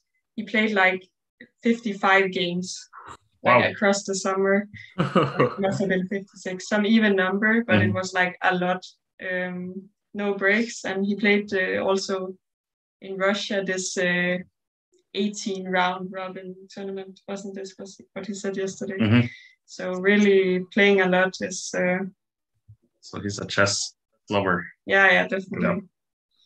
So- yeah, I also had once when I played like insanely much. It was in 2017 summer. I played Norwegian Championship, Politiken Cup in Denmark, then in Riga, then in Russia, like non-stop. And I, like at some point, you just uh, stop thinking clearly. Yeah, it's I was not You, able to. you need the a break uh, at some point, I guess, to to catch your breath and uh, Yeah, for at least a few weeks. So. learn from uh, from the games you've played. Yeah. Uh, that's that's always good. And uh, yeah, Be- Benedettiorama says beautiful interior. It looks like an embassy. Yeah, you're absolutely correct. Um, they're playing at the Swedish embassy, and it's funny because when I uh, flew from Norway to, to London, I was trying to picture myself how the the playing venue would look like, and I would say it's pretty much uh, exactly what I imagine it would be. And uh, yeah, it's it looks like a very cozy, nice little place uh, to play chess, and uh, I think the players are happy with the venue. Yeah, it must be a great atmosphere to play in such a nice looking place. Absolutely, and uh, we do have Bishop H4 uh, to it, which you. Uh, no, uh, I was looking at it. It seems like should to F4. Ah, sorry, Bishop F4. Yeah, Seems not sure, but also yeah. a reasonable move. Yeah. So I I think just the reason for bishop to f4 is like uh, el- elimination. Yeah, like you realize that uh, if bishop to d2 is a bit uh, like uh, too much unnatural place, bishop to e e3 runs into this knight to g4, and if bishop to h4, then then the bishop is a bit out of the play, and after say rook to b8, it's a lot of pressure. So I think bishop to f4 uh, is uh, okay. It, it was actually Daniel's top choice. So all the credit for David to finding it. Um, so yeah, also maybe a point is is that now rook to b8 is no longer possible to the bishop being on f4. So now Nils has to find a way. The most natural move, in my opinion, maybe is queen to b6 here. Just put some more pressure on the b4 pawn. Um, then, then we might expect B4 right after Queen B6. Yeah, it's a possibility. Yeah, I'm I'm I'm not sure. It, like it simplifies the po- position, but also Black then has quite good development. Like say Queen to B6, uh, B B4. Like say C takes B4, A takes B4, and say a move like I I don't know bishop. Okay, maybe b- bishop b7 runs maybe into bishop to c7, so you should be a bit more accurate. But say a a5, like sure you can trade off these pawns, but in in the end, black has better uh, pieces here, and uh, Nils is still two moves away from castling, which does count for something. Uh, so I think in a position like this, Nils will be very happy and have very good chances also.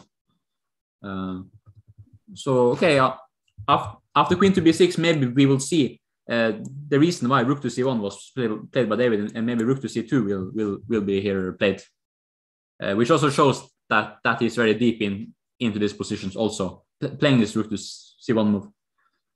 Uh, so yeah, that's a that's a great point, and uh, and you mentioned that option earlier on as well. Yeah, yes. After we played rook c1. Yeah, and, uh, I guess it makes a lot of sense to um, yeah to keep things defended and not uh, commit too much of the pawns on the on the queen side. Yeah. Um, so uh, yeah, here is um, I uh, think it makes sense for Nilser to think a bit, like for at least ten minutes. He has some time ad- advantage, so it's I think it makes sense to invest this time into trying to find the most pre- precise way, since it's quite critical. I mean, still, if David gets some time, he will get his king into safety, uh, and and should be doing fine here. I think uh, if you, as black, can delay this development of the white squared bishop, then uh, you would try to do so, right? It would yes. be nice to keep the king in the center. Then there's always a lot of stuff that white has to consider. Yeah. Yes. Also, it's not so easy also for Nils, since if Nils uh, would have included the move a a5, he could play like bishop to a6 and then take on f1, making sure that white can't castles but if you now place a move like a a5, let's say, uh, even if like uh, uh, David plays something like bishop to e2, now it's not the same in, anymore. As now you you can take with the queen, and I think in a position like this, uh, the c5 pawn is actually maybe slightly more weak than the b2 pawn, as white is quite well coordinated. Um, so it's uh, all of for is to try to make use of the, the development lead here. Absolutely. And uh, we do have a couple more questions from the chat. Um, Ed, uh, wondering are feed the points awarded? Uh, yes, they are. So um, the players are uh, close to the same rating. So um, nothing uh, dramatic uh, will happen after each draw. And both players will get five points for a win. So in that sense, David is now up five five rating points so far in the in the match. Um, and uh, Tom asking if any famous chess player has played in the same venue before, and I don't think so. Not not that I'm aware of, at least. I think it's quite unique to play in an embassy. Yeah. Mm. So uh, it was uh, yeah Malcolm Payne, one of the organizers who who uh, got in touch with the the Swedish ambassador, and uh, they they figured out that uh, possibly the, the, the match could be played there, and yeah, I haven't heard of other chess matches being played at an embassy before. But first of all, chess matches are not so common, right? So That's how true, often yeah. is a match played? It's. Uh, I mean, back in the day, it was more common, so maybe back in the day, but uh, yeah, you're you're right. In in recent times, uh, fewer and fewer matches like this uh, has been played. But I really like like the match format. I think it brings a very good excitement to the games um, yes, I really like the match format. So yeah. There's a bit psychology in it, right? Every day you have to think about: Do I stick to what I played previously? Do I switch openings? Like um, maybe Nils, I don't know, he lost two days ago, right? And then like for the next game, he might think differently, which is not kind of the same when you play different players. Um, That's true. Yeah. Yeah. No, it's very like I remember reading this uh, book on the Kasparov Kramnik match uh, when Kasparov lost some games in the Grunfeld. He he just didn't know what to do against d4. So like, and he made his team like work out just all kind of things to play versus to to to play the Nimzo. I think it was he changed to. But like, yeah, you always have to think what works. Uh, and during a match, like if you have a big team, you, you have the privilege of changing also. But um, yeah. I agree. Like Ellen said, I think in in in chess, psychology is a big factor, but even more important in in a match because uh, it's the same opponent, you know, every day. Uh, you play might play the same openings, and then you start to you know uh, think a bit like poker, you know, and, and reverse psychology. He thinks I will play this opening, but then you know, so it's it's becoming more of a yeah a bit more mind games, you know, uh, compared to playing a round robin tournament or an open tournament with uh, with different opponents. So yeah, definitely, and also like how much do you trust the analysis you did before, right? Mhm. Do you play the same thing uh, because you trust that all the variations are good even after the opponent checked, or do you want to switch it up to make sure that this doesn't happen? yeah, absolutely. So um, definitely that's a big part of playing a match. Uh, yeah, I mean, th- does look like Nils has some uh, some options there uh, to it. Um, Yeah, sure. Uh, so, in a dynamic position, you are often thinking about dy- dynamic moves, and here an interesting option is is to play the move e5 here with the black pieces. The point is that uh, okay, you are sacrificing the pawn, but if white takes this pawn, it would open up the lines to to the white king uh, very much. And after say knight takes e5, bishop takes e5, and just move like rook to e8, uh, black gets very good play here. Uh, and like more important than being a pawn down is the development. And say after bishop takes F- f6, maybe queen takes f, f. Black might be a pawn down, but uh, very big pressure on the b2 pawn, very pressure on the e e2 pawn. Bishop is coming out. I think e e5 is a very strong shot, and I think Nils is thinking out, out about this very seriously. As he is a Grunfeld player and a very active player, I think this this will come quite natural to him. Um, and yeah, so also the point behind e e5 is that no is that now the bishop is no longer protecting the b8 square, so now the rook can join in on the action on b8. So that's the point behind e e5. So yeah, looks like a very very interesting option for Nils. Uh, Mm. E5. And what do you do with white after e5? You just move the bishop, or Yeah, so I I think it's too risky to take this pawn as you are down uh, behind in the, the development. You don't really have time to take it. So you either go bishop to e3 or bishop to g3. Maybe bishop to e, e, e3 makes a bit more sense, uh, just to put some more pressure on the c5 pawn. And once again, if queen to b6, maybe b4 is, is a good move. So, so then I guess something like rook to b8 is what Nils should play. Uh, put a lot of pressure on the uh, b2 pawn. It's a possibility here to to go rook to c2, but maybe it feels a bit. Uh, I'm not sure how to say, but like it, your the development is lacking. Like you still haven't developed your bishop on f1, and I think in a position like this, Nils is once again doing very well. If if you can trade the c5 pawn for e4 pawn, it should be heavily in black's favor, as it opened up, up the line, but also against a central pawn. Um, so after, after rook to b8, maybe Nils should go like queen to c c2 maybe, and then try to de- develop your um, pieces. But also now, uh, as bishop is on e e3, this knight to g4 I- idea can come in handy for Nils at any moment. Uh, so definitely not not easy decisions for both players. Bishop to g3 is certainly also an option, but then maybe the bishop is a bit out out of play, but also the e5 pawn could hang at the moment. So hard to say here. But, I I think I will play e5 here with the black pieces uh, still to get the rook in, into the game. Yeah, and I think it's an important detail that the knight on f3 is very far from getting to d5. So it's not like yeah, that yes. that square too much right now, at least. Um, Yeah, yes. Like e, e5 does weaken the the e5 square, but the po- po- position is in such a dynamical Yeah. character that uh, the, these kind of factors doesn't really matter for the moment. And yeah, the knight would have to uh, spend quite some time to get to d5.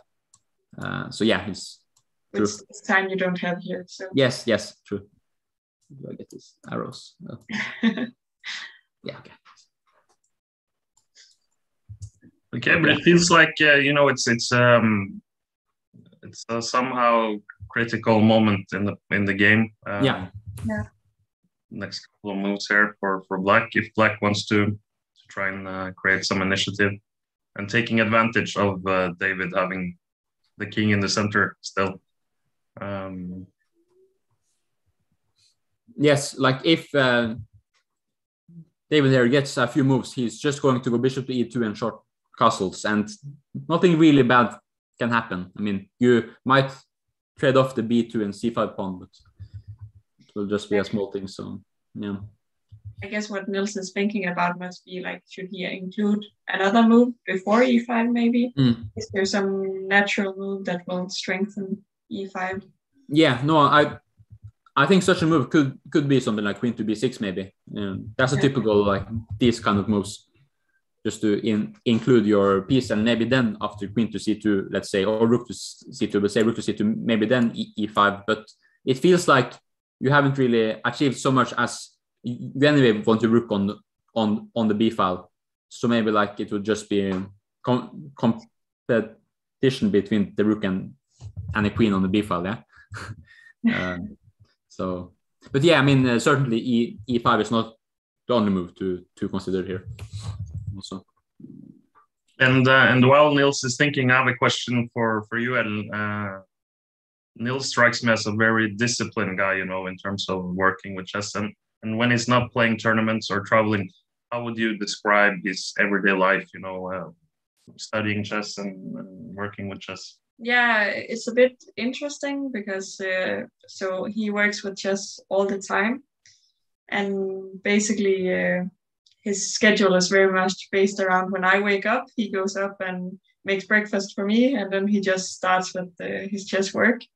Um, but it's I call it work. He's very much just enjoying looking at chess, so he spends the whole day, you know, either reading about chess or studying openings or um, doing tactics. And his schedule is mostly very fixed when it's right before a tournament. Then he starts making a plan for what he has to do within the time. Mhm. Um, but otherwise, it's just uh, basically looking at chess as much as he can because that's what he loves to do. Yeah, that's great. And He- yeah, even in weird situations, he has like a, I always tell this story, but right next to his bed, like one of the books he always reads and almost is like uh, best games of Kasparov or whatever, you know, uh, stuff like this, where I would maybe read Game of Thrones or you know something not chess based. but that's very in, in, interesting. Like when I was a kid, I was always taught that those uh, really strong grandmasters they always had like a game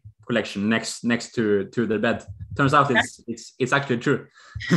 It's yeah. definitely true in our household, but um, it's uh, I don't know uh, for other professional players like David's normal routine when he was playing a lot. Um, but I think uh, for Nils, it's he has obviously some stuff he has to do, like tactics uh, before tournaments is super important because you need to stay sharp.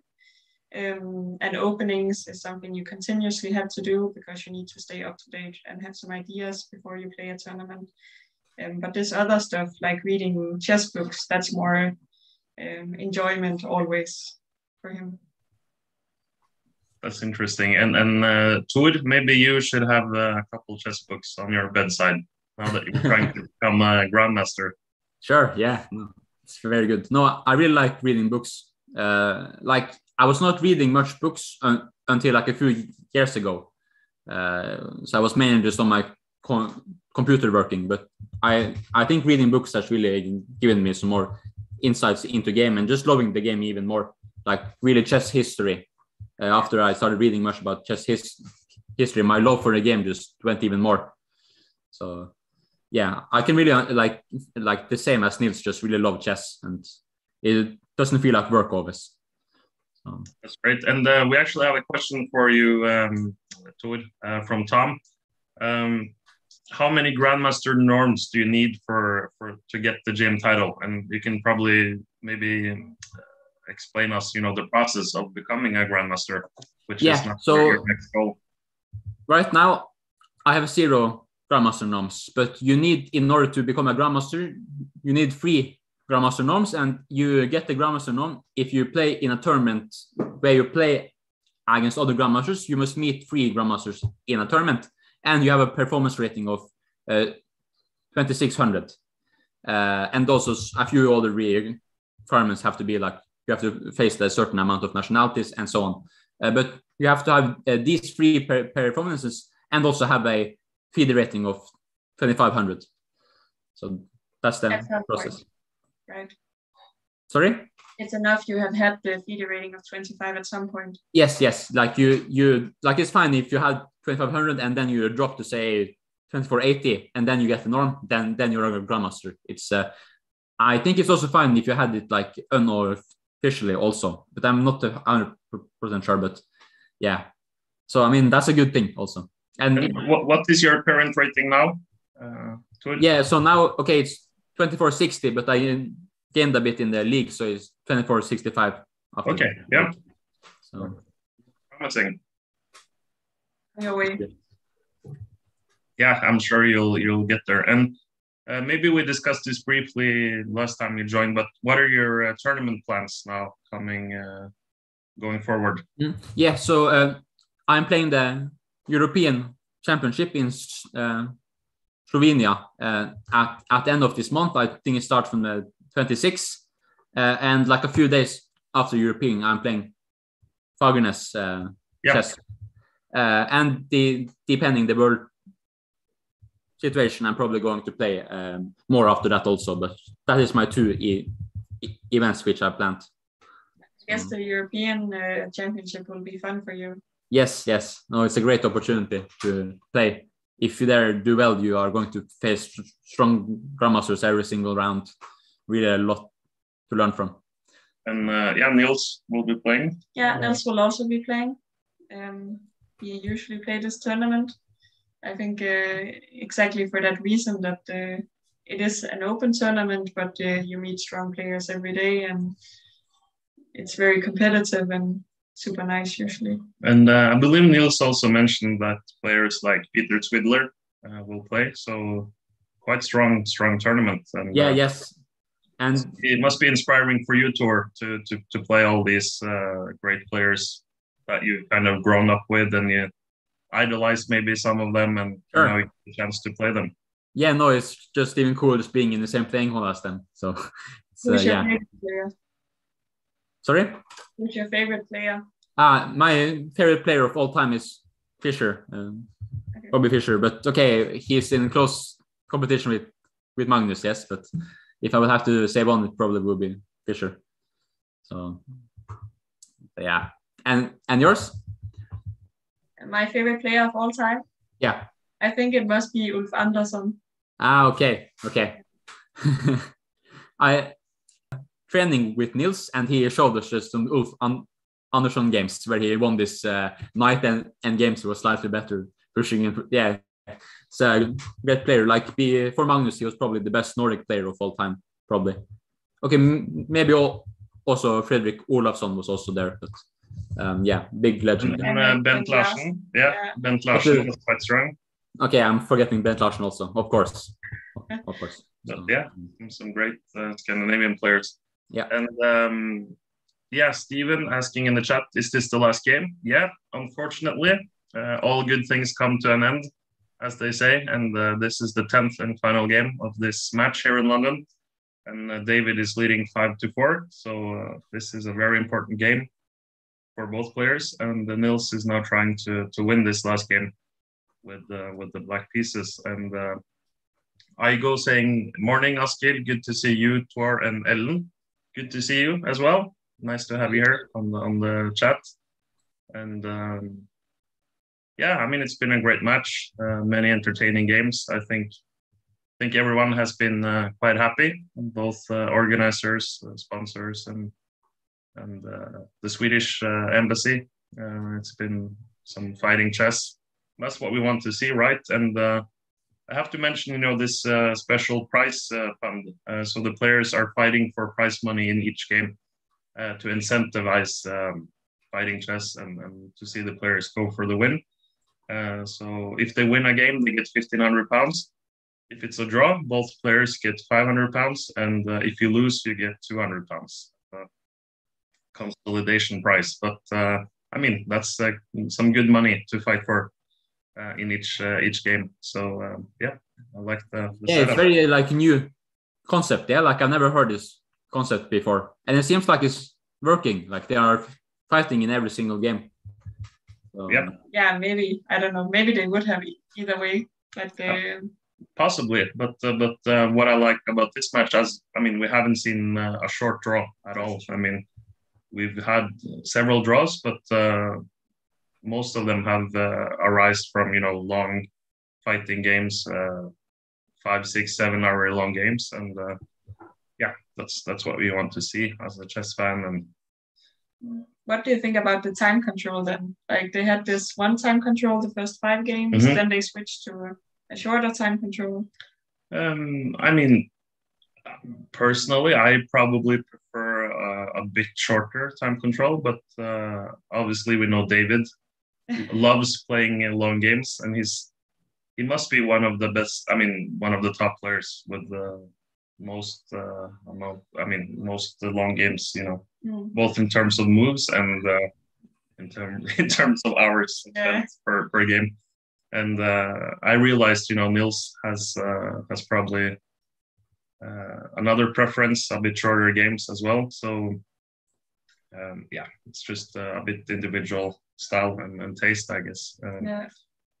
But it's also good to see, you know, we have uh, we have many rapid tournaments now, so to see that uh, classical chess uh, is uh, is still um, surviving, or you know, it's it's still um, Very going relevant. relevant. Yeah, I think it's nice to have both uh, that both can uh, coincide together, and uh, yeah, it uh, it mixes up things a bit, and I agree. think it's this uh, this long time control also has the very interesting element that it becomes very physical. Mhm. You have to survive for such a long time, uh, like completely drained of energy in the end, because you know it's so many hours. Think about if you had to play tennis for seven hours, you would also be exhausted, right? So that's uh, also an interesting aspect you get in the longer time controls that you lose a little bit when you play shorter games. Yeah, absolutely. And I also think that uh, like if you're trying to live as a pro, professional player, it's very important to uh, exercise often and to be in good shape. For Yeah. at least which which you mentioned, like if you're dead at the fourth hour, you're not gonna exceed in in, the professional chess. So yeah. Yeah, I could uh, mention this to Nils's routines. He exercises almost every day. Wow. Okay. So that's uh, very much part of his normal life also. Hmm. For this exact reason, I think uh, physical shape, when you have to stay like focused for so long, it's super important. yeah, absolutely. And um, I think uh, I think Nils has a small advantage over David there because I don't think David has the time or energy to to work out uh, at least every day. So maybe a couple times a week, but uh, it's uh, yeah tight schedule. And he's obviously working on the Champions Chess Tour. Um, so when when there's tournaments going on there, um, his focus is, is on those tournaments, and it's difficult to, to find time. I think to, to to do a lot of exercise as well. But um, Mm. yeah, it's it's definitely a big. Uh, it's become a, a more important part of top level chess. I would say Yeah. in the last 10, 20 years. Mm. Uh, and, and more and more players are aware of it. If you look at you know the top players in the world, uh, many of them are are in good shape and uh, are working out quite a lot. So it seems here that like Nils have been thinking for more than 20 minutes, it seems, yeah? Uh, so it means that this this position is really not easy. I'm sure that that he has seen the move e5, but he's probably thinking a bit further like, am I really getting e, enough play for having put my pawn on e5? Maybe if I don't get enough, maybe it could later on be a weakness.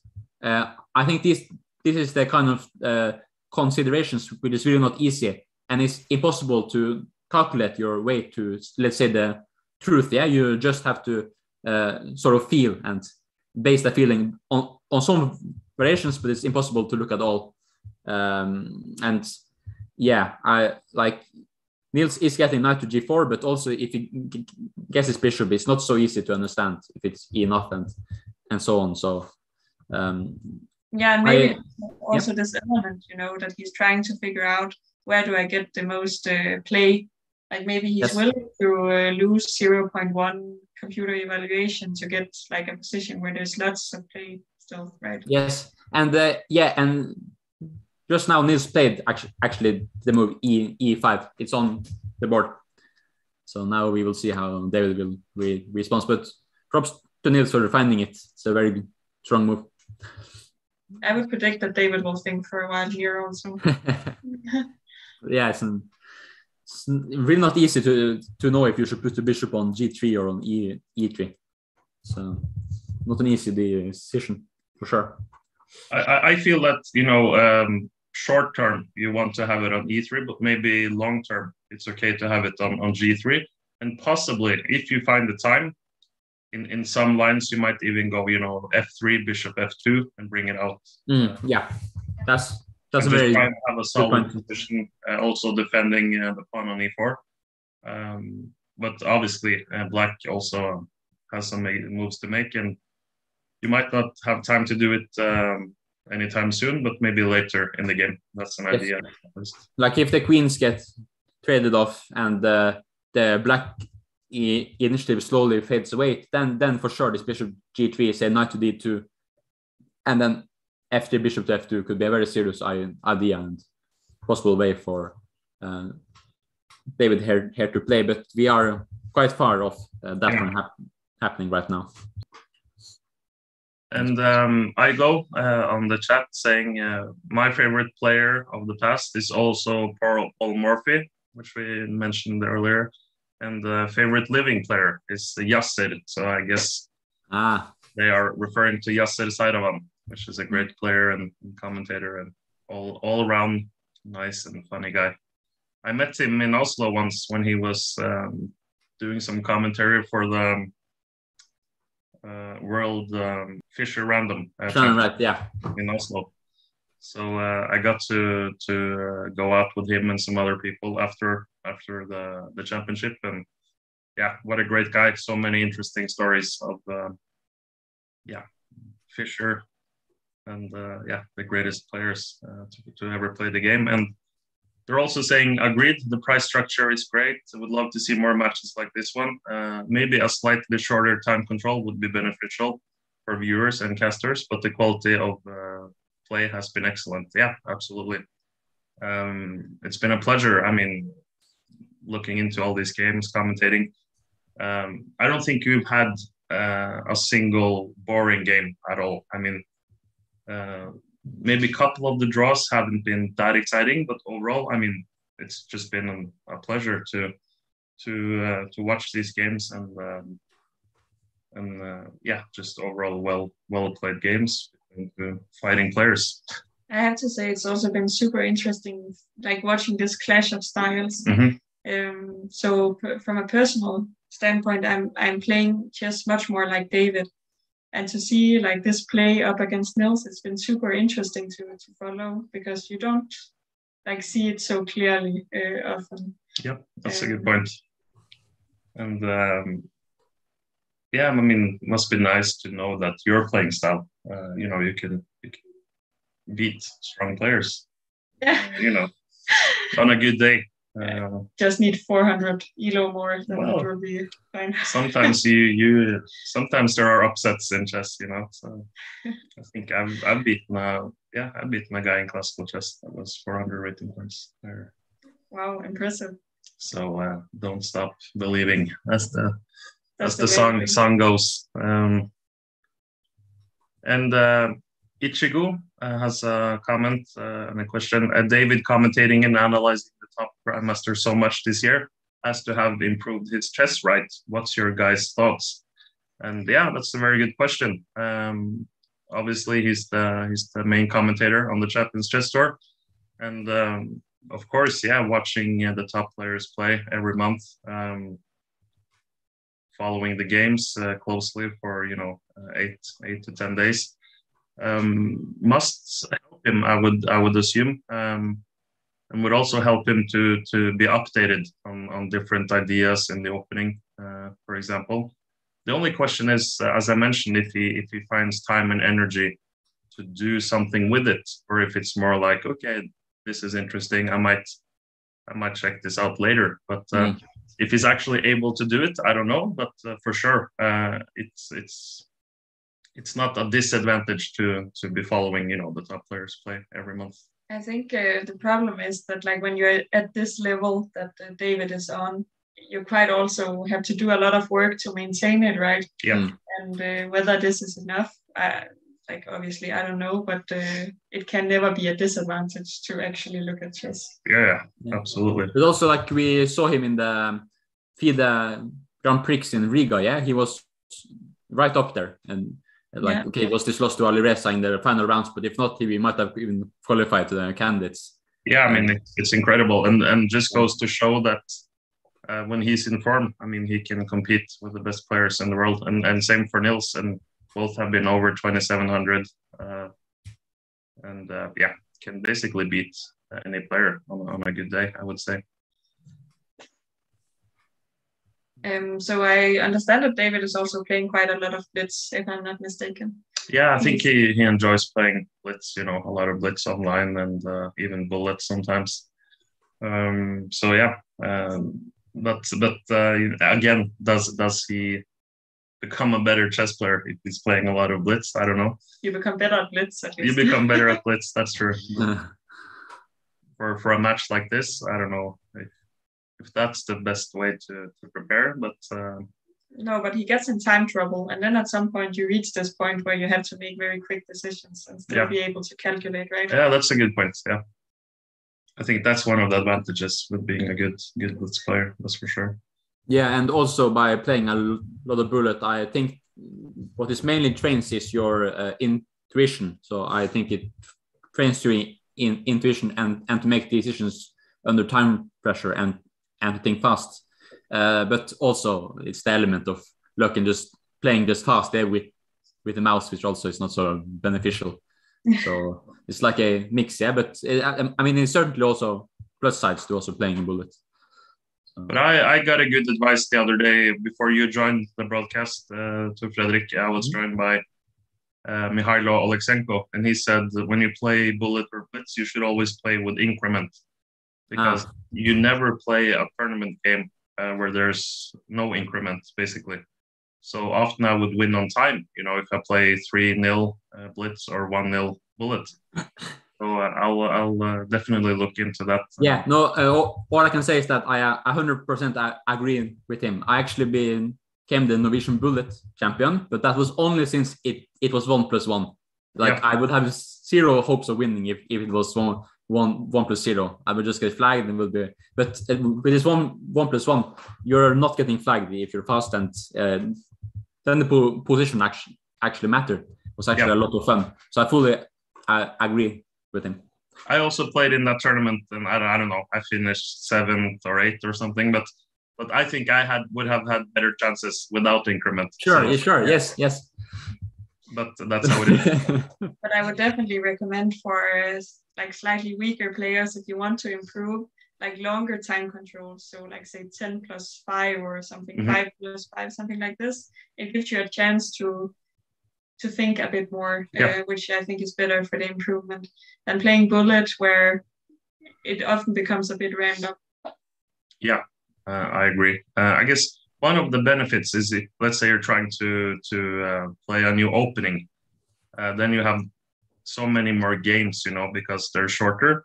Uh, but again, it's difficult to to analyze, to calculate, and so on. But but uh, to get like the uh, the quantity, you know, the number of games, uh, shorter time control can be beneficial in that way.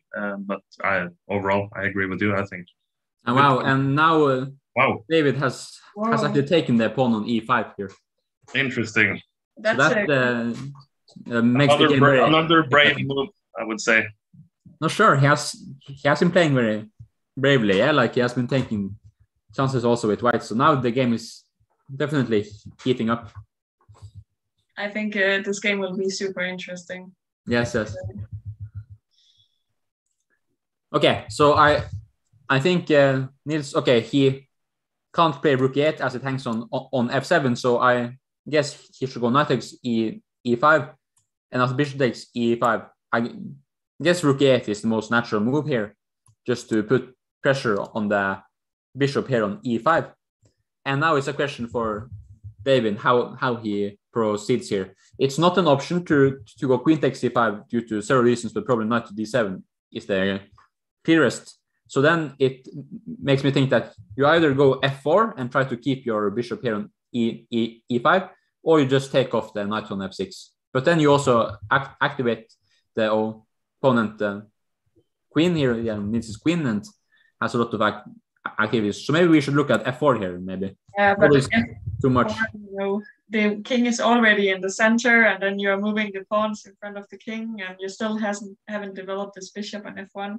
It looks super scary, I would say. No, definitely. It's only if bishop takes f f6 is like not good. Also, you, okay, at least I'm sure David is is con considering, but yeah, and based on just looking at it, it feels too much. Uh, maybe here knight to g4, knight to h5 maybe, but knight to g4 feels like the best move here. And now But, that yeah, I mean, this looks good for Nils. Um, but I have an idea just to, I mean, uh, from the white perspective, I'm, I'm happy with the draw. So yeah. I will probably just take on f6. Yes. And then I will give a pawn back uh, by playing f3 or or bishop d3. f3 seems solid. And then you can take on b2, and then I'll play queen c3. queen to c3, yeah. Mhm. And then I- mhm. every exchange, I'm I'm I'm happy. But if you have a good move here, that might be. Uh, Yeah, so it seems to me here that rook to b8 is very Im- important here. And yes, every ex- exchange like favors the, the defender, let's say, but but if Nils is uh, finally en- entering with such an active rook on on the second rank, that that can lead to the initiative heavily being in his hands. So maybe uh, in instead of f f3, maybe it makes more sense to to just Yeah. say, okay, you can win a b2, but just go bishop to e2 Yeah. uh, and castle as fast as you can. Would be Absolutely. And, and then I guess you can take on on uh, on b2. Yeah, uh, queen takes b2. Maybe rook to b8 is a move also, but queen takes b2 feels like the most natural move here.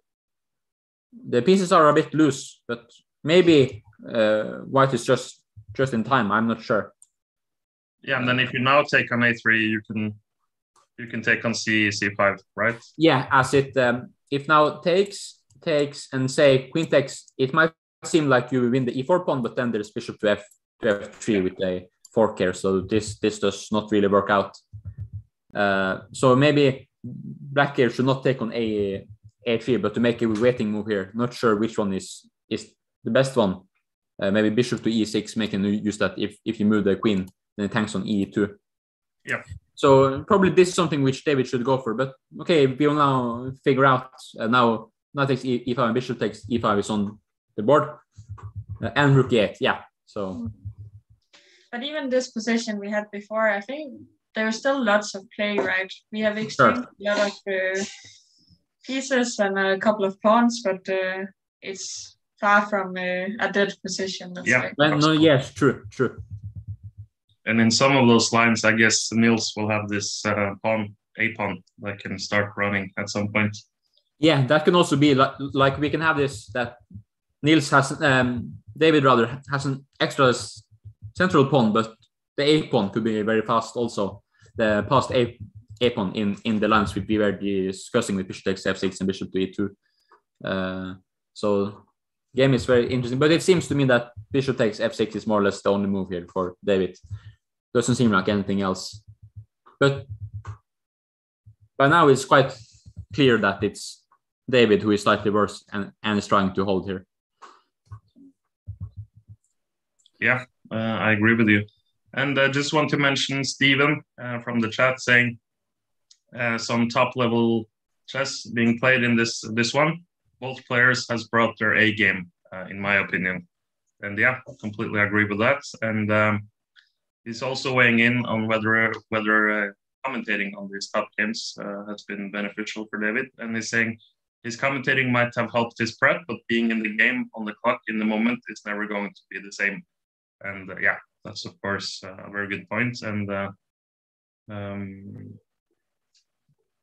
and yeah, uh, I think, but as we mentioned, just um, kind of being up to date on, on some opening ideas. I think that's the main uh, benefit of working closely, you know, on the Champions Chess Tour and and also, I mean, he's analyzing the games as as we go.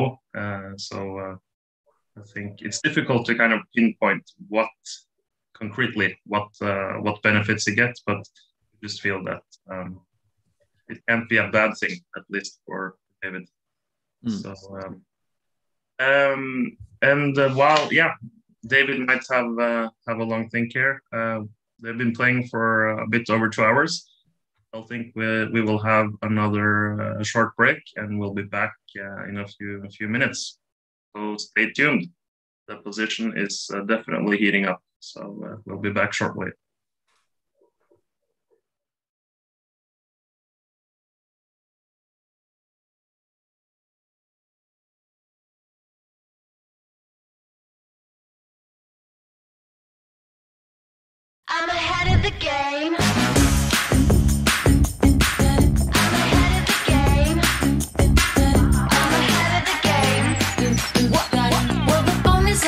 Ringing. I'm caught up on the line. Got a string around my finger. Remember who am I? I'm a boss and I'm honestly off my rocker. But follow me. I'm ahead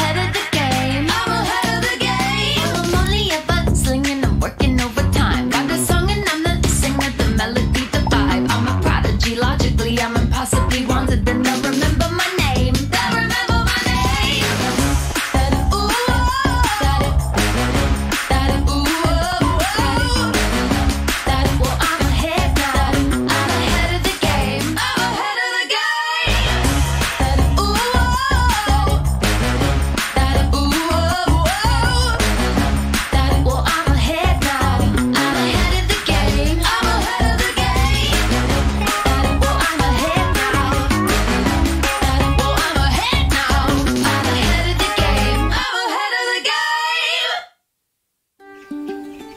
I moved away from the city 13 years ago.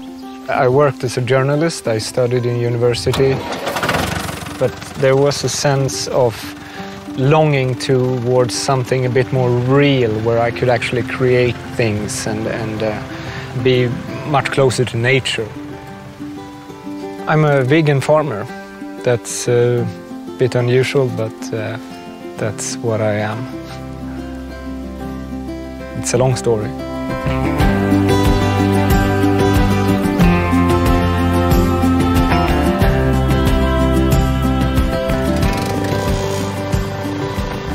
I used to be one of those people that thought that veganism is impossible, very deeply entrenched in, in like the small scale uh, animal farming uh, community. You know, I was a leading proponent for keeping pigs and, and uh, doing animal husbandry, but with a human uh, touch. Well, as our business grew, our farm expanded and our shop started selling more and more meat and eggs and milk. It felt less as I was doing something good for the animals and more and more as I was just showing a happy face for uh, any kind of animal product consumption. It felt like I was a poster boy for, for the animal industry in itself. So I, I um, that didn't feel so good, to be honest. So we're picking for the bags, and it's 15 bags. It makes uh, about three kilos, just a little bit extra to be sure. I came across veganism on YouTube, actually, and um, a lot of the things they were saying started to make a lot of sense. The first year or so was really difficult. I made a lot of enemies, unfortunately, because most of my friends were also farmers with animals on their farm. And when I started posting on Facebook that I was a vegan and I was against killing animals and all that stuff, and that wasn't too popular with my farmer friends. there were just so many questions also that we had to answer What are you going to eat instead? It's not easy to make a dietary change, but it's even more difficult to make a change in a farm. Our whole infrastructure, everything we had on the farm, was based around animals. We sold the animals, uh, took down all the fencing, we tore down the animal houses, uh, and uh, if you don't have animals, you still have to uh, produce something on your farm, obviously, and we put a lot of effort into growing different beans and legumes.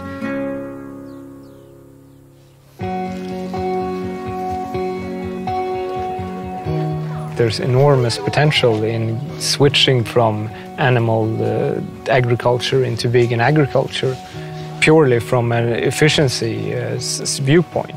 You know, if you grow one hectare of beans and uh, compare that to one hectare of uh, grass for sheep, you will find that the beans produce, I think it's up to 10 times as many calories on the same amount of land.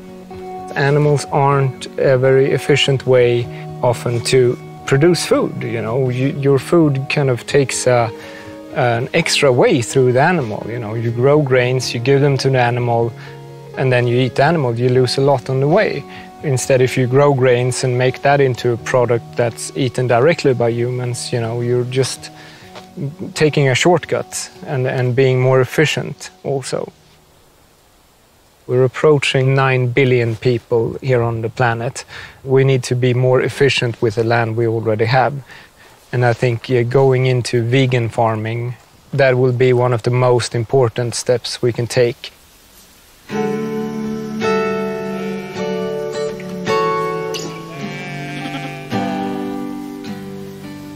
I still have friends who have animals. Uh, I don't mind that. There's many places that are not suitable for vegan farming. You can only grow grass there.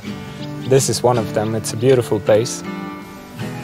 There's no one model that fits everybody.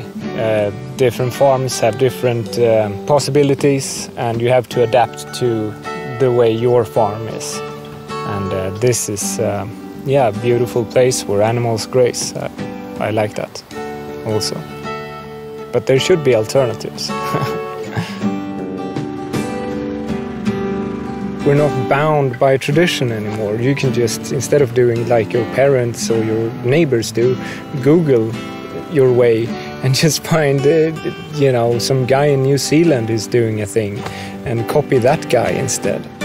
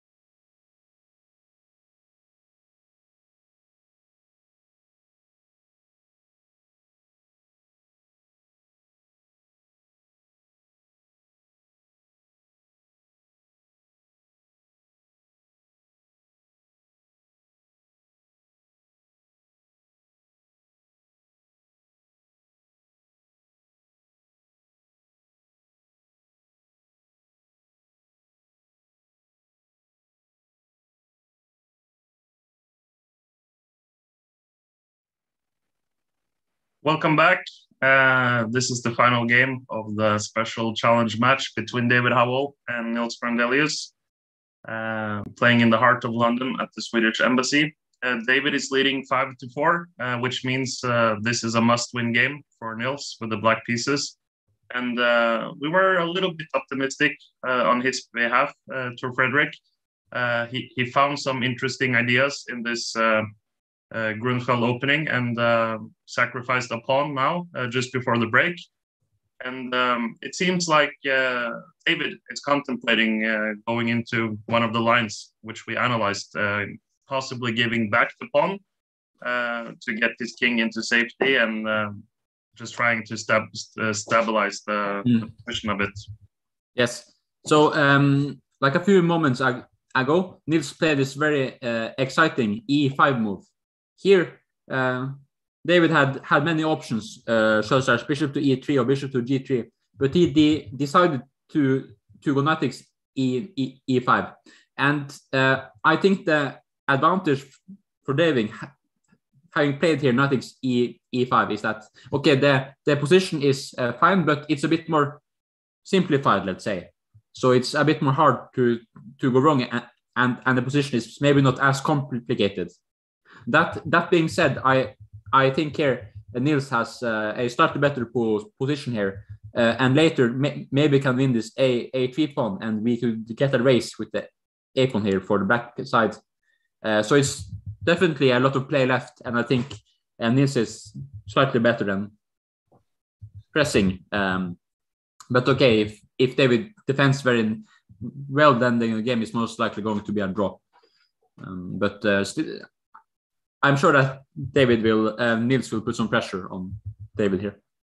Yeah, absolutely. Uh, very interesting position. And uh, I just want to remind everyone uh, we're doing a fundraiser, uh, joint effort between Chess24 and the Norwegian Refugee Council, uh, raising money for the victims of the war in Ukraine. It's a great cause. We're approaching $10,000. It would be fantastic if we can uh, cross that mark uh, after today's game. Currently, we are at $9,829. So only two $200 uh, to go to, to get that 10,000, which would be amazing. So if you have the chance, um, please do donate and help us supporting this great cause. And there's a QR code on the broadcast, and we'll also try and, and post a link uh, to the donation site, which uh, should be straight, quite straightforward. And uh, we also all know how to use these uh, QR codes. I expect after the the pandemic. So just put your smartphone, um, put the camera on, and uh, should be should be simple. And we have a move. Yeah, so here Nils placed the developing move, bishop to e6. As uh, we have mentioned before, like when we were analyzing this game, it might seem like Nils wins a pawn here with, with, with queen takes a a3, but after, after queen takes c5 uh, here, queen takes c5, rook takes c5, Nils cannot take the pawn on e4 due to bishop to f3, and, and you are losing the ex exchange uh, with a losing po position. So that is why Nils did not take on a a a3. If it weren't for this, probably he would have taken it this pawn. But he rather just de develops his uh, right bishop pair to to to e6, and uh, here white cannot take on c5 as then queen takes e2 would lose a piece.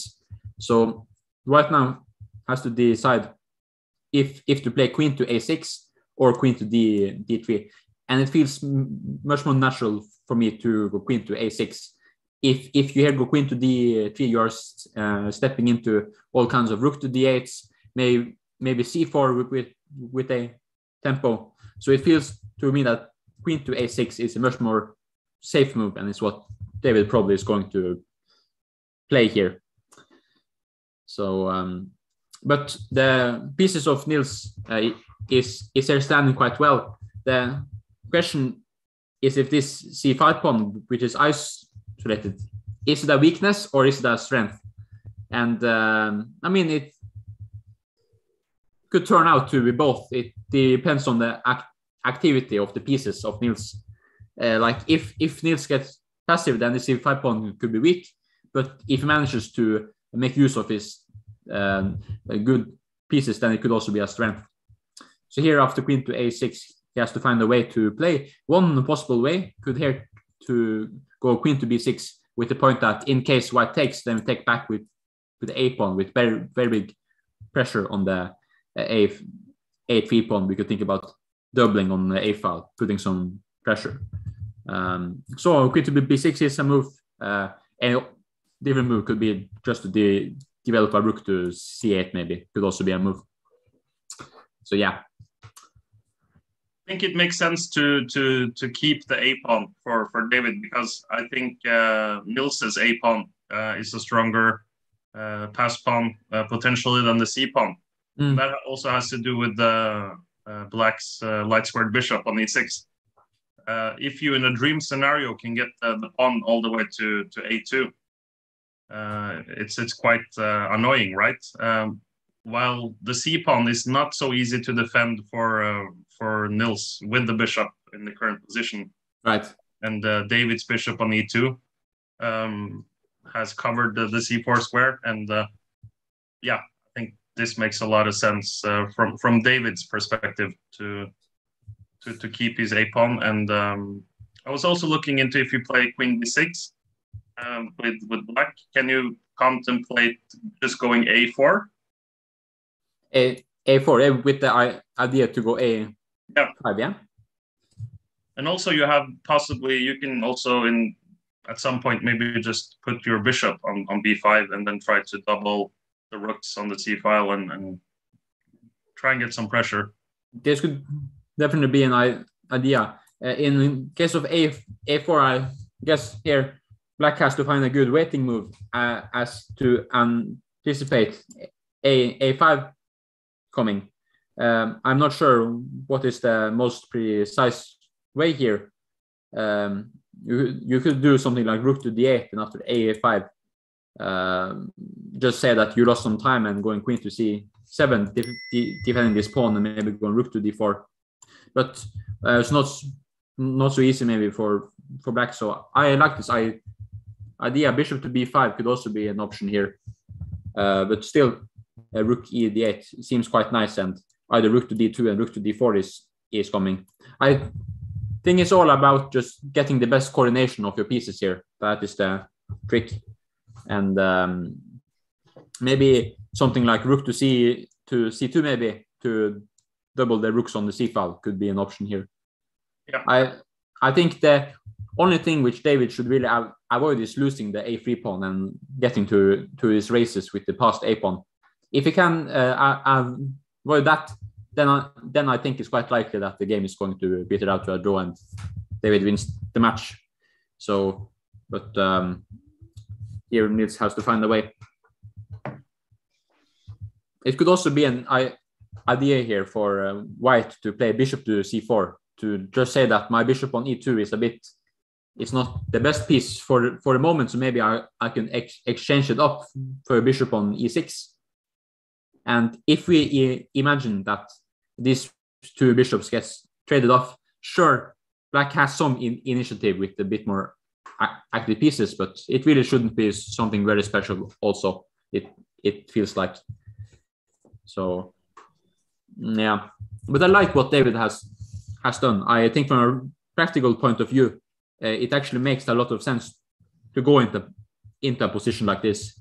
He has to be quite accu- accurate the next moves but if he manages um, i think um, he has good chances here to hold that draw And um, yeah, I, have to, I mean, I have to give you David some credit because it, it's not the first game in the match where he's been, you know, slightly worse. And then when you think, okay, now Nils has a has a good chance to to capitalize, and and then David somehow finds all these good moves to to stabilize the position and to neutralize uh, Nils's in, initiative. And um, I get a feeling that he's he's achieving that one once again. And uh, if you if if we think about you know the position a few moves ago, uh, I think we all agreed that yeah Nils was doing really good, and and now it, I get the feeling that uh, yeah David has maybe maybe overcome uh, like the worst uh, pressure in the position.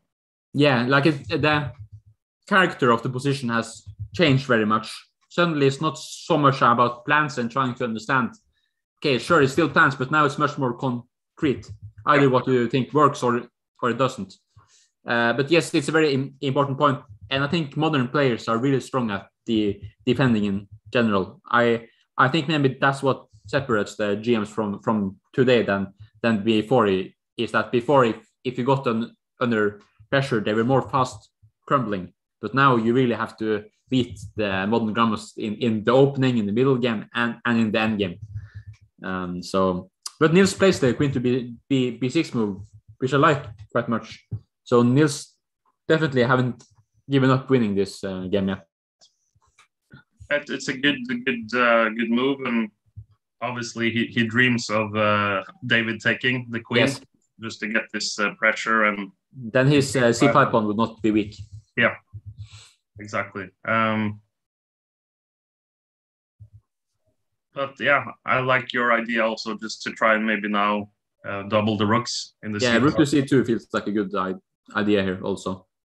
and uh, and once you, once you get um, get the rooks into the game, you feel like white white has achieved uh, a little bit. Yes, but at the same time, maybe here it's very smart for black to play something like rook e ec8 to keep an eye off the a pawn with this rook and say after rook f8 to to go uh, rook to c6 with with uh, putting some more pressure on on his queen. And if you take, you of course take with the pawn, and like a position like this should be very nice for for um, Nils here. So probably after after, after rook to c6, uh, white should not take on b b6. He should probably move his queen away um, with a move like maybe queen to b5 or even queen to d d3. Though queen to d3 feels a bit unnatural. Maybe gives c4. So I think queen to b, b b5 is probably the move, and the po- position remains quite tense. Um, but all in- like I think this queen to b6 was anyway a very good inclusion here of Nils, keeping some tension. The that's Absolutely. mainly what what you just need is tension that the position isn't too much simplified. So yeah. Well, but but I think here that David is here going to have a small think to to understand what is the most effective uh, defensive setup here. Since yes, I mean it makes sense to uh, double on on on the c file, but if his queen stands here on b6 and and sees his rook to c8, rook to c6, maybe it won't be so obvious to him that this is best, and and he will try something else. So, but also when when you have many options, you can also go wrong. But um, but but uh, during this match, he has been de- defending quite well. So I'm sure he has seen worse Yeah, yeah, and um, than, than this. So. I think I mean he also realizes if if, if he can get uh, the rooks now uh, well placed, um, the queen is being defended by the bishop. So um, yeah, it's it's a bit difficult to see how how Nils can keep up uh, adding pressure, but but uh, it's it's definitely not over. And uh, you showed us some some ideas, um, bringing Black's rook into the game as well, and. Uh, and trying to to to put David to the test. Um, Yes, and I actually think your your a a four move is actually quite human move, like to not uh, allow rook to c8, rook to c6 as you're not in time. So a4 is definitely something um, David here would be con- considering. The only minus with this move is that he's losing some time, and maybe uh, Nils has a way of using this time into his ad- advantage here in the best way. Yeah. Uh, so definitely not, not an easy position. Here.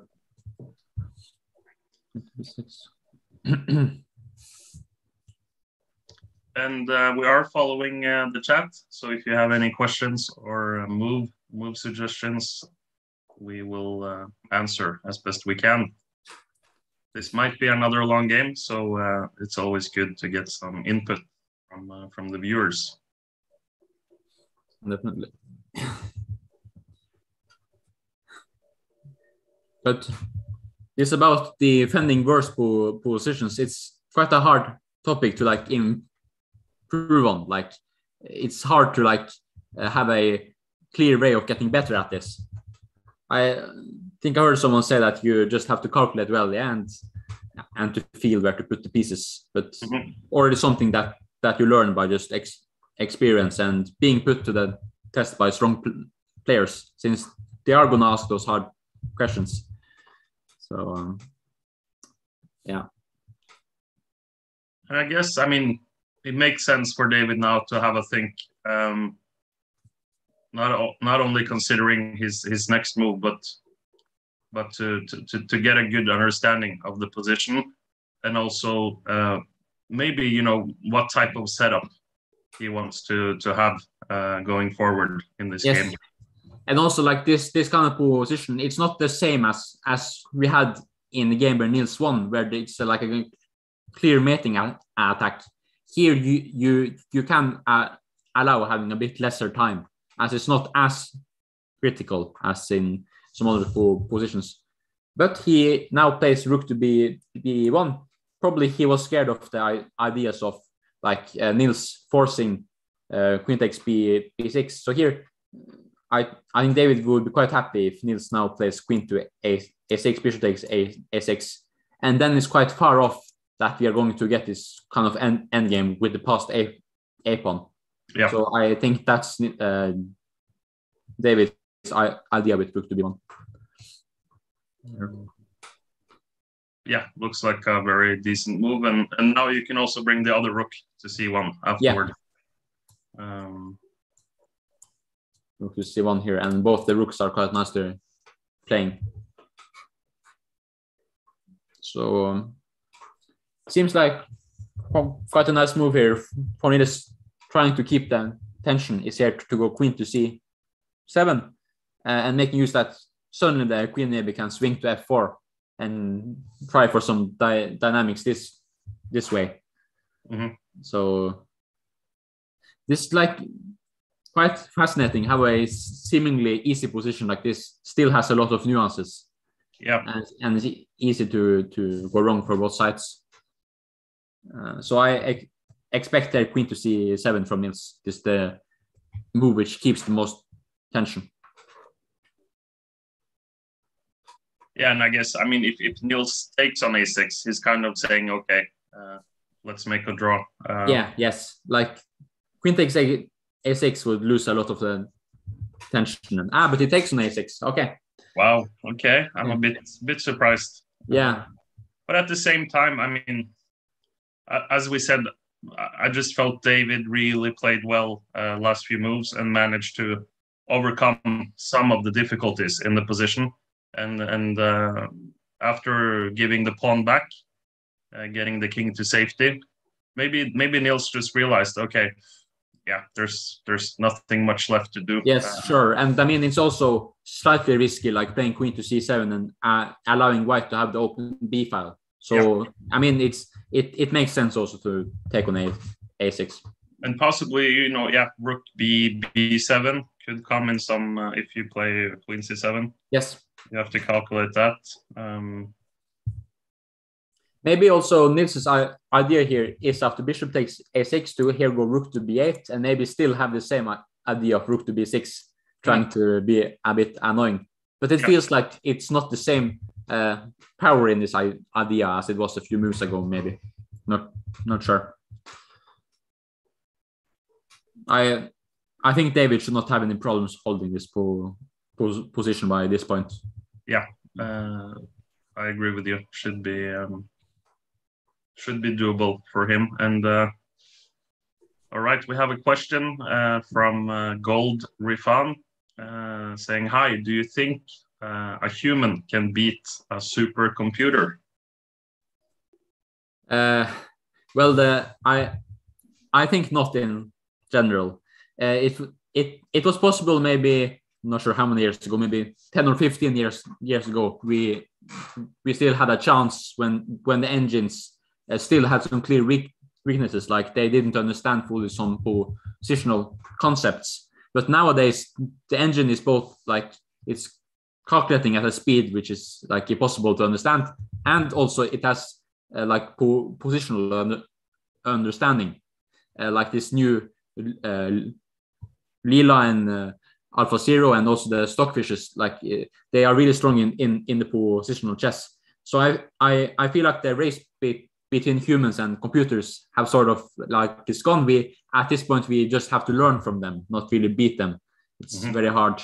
Um, but but also having the computers nowadays i- is a great tool for a player to also learn a, a lot. So Yeah, absolutely. And I mean, I think it's now 25 years ago since Kasparov lost against Deep Blue. So Yeah. it just goes to show how, uh, yeah, how good you can just imagine how good they've become ever since, you know, in the last Yeah, 20 yeah. years compared to, to when that match was played.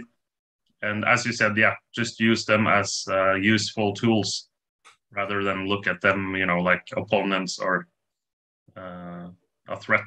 Yes. Right. Also, I uh, have a difficulty playing against the computer since it's not a human. Yeah, so you feel like you can't trick him. Whatever trick you're doing, they're just going to re, re, refute it. And a lot of the human el- element is simply lost. That like you want to beat your opponent and so on. With a computer, like at some point, I think it's very hard for a human to just keep playing. It's no matter what you do, you think you're going to lose.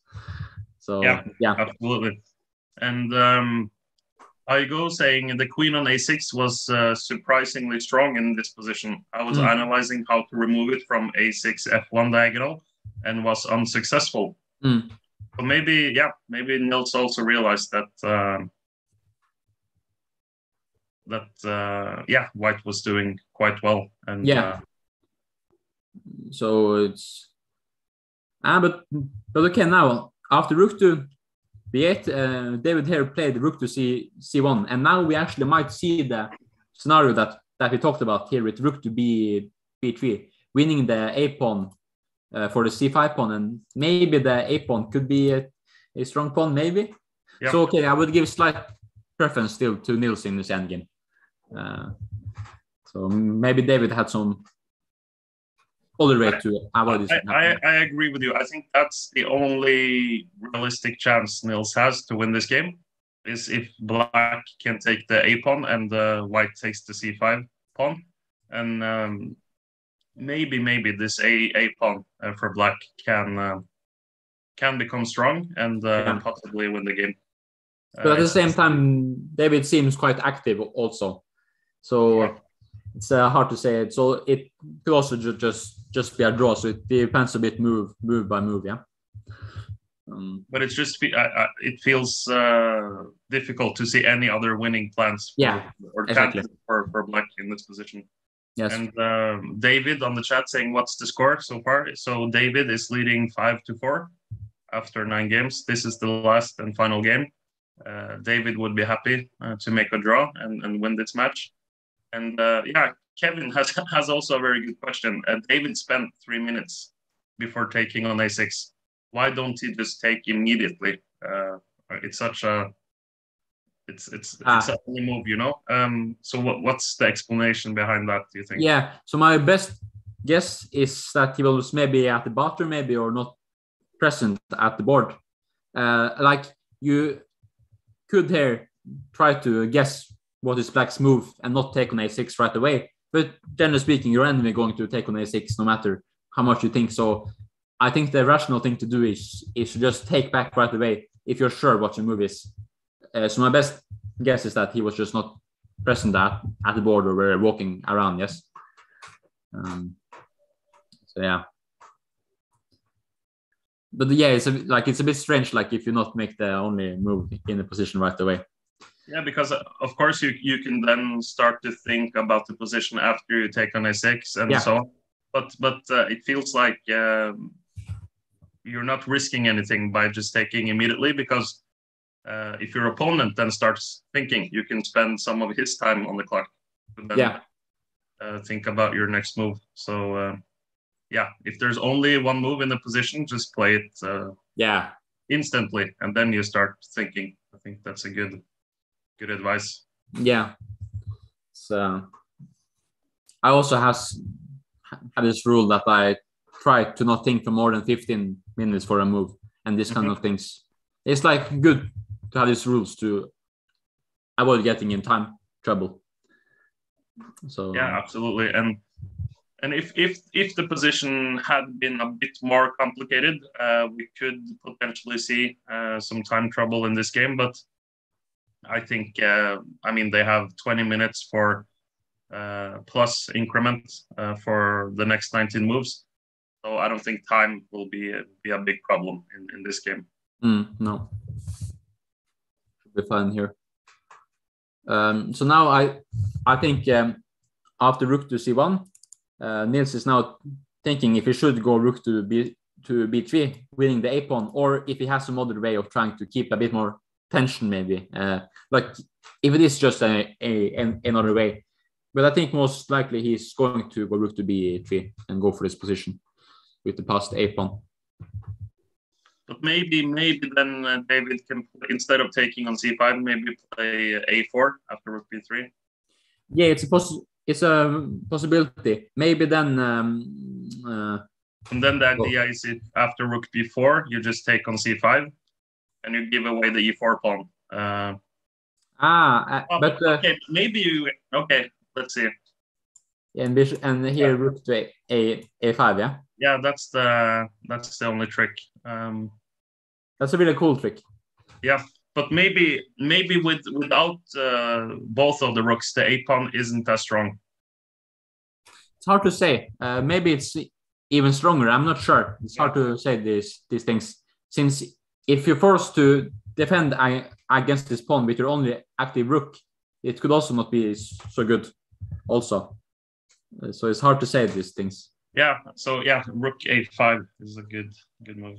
Yeah, but maybe some other uh, a4 rook to b4. I mean, you Okay, you could you also go a5. Yeah. Yeah, that looks like a good move. Yeah. But now obviously rook a4 doesn't work because of bishop uh, b5. Um, so yeah, Yeah. a5 is simply. Uh, Yeah, A, A5 is a move, so a possibility. The only worry would be if this pawn could potentially be a weakness, maybe. But uh, for the moment, it seems fine for um, white here. And now in this position, it seems like you either have to take on, on e4 or play c4. Yeah, c4 doesn't look. It looks a bit strange. yeah. Like it feels like this pawn is not so strong at, the moment with all of white pieces being so active. And sure, you, can go rook a4 and take then then I take on c4. Yeah, so I think bishop, bishop b5 trick. So uh, yeah. but here maybe maybe you can just double the rooks. You know, rook c2 and then rook c1.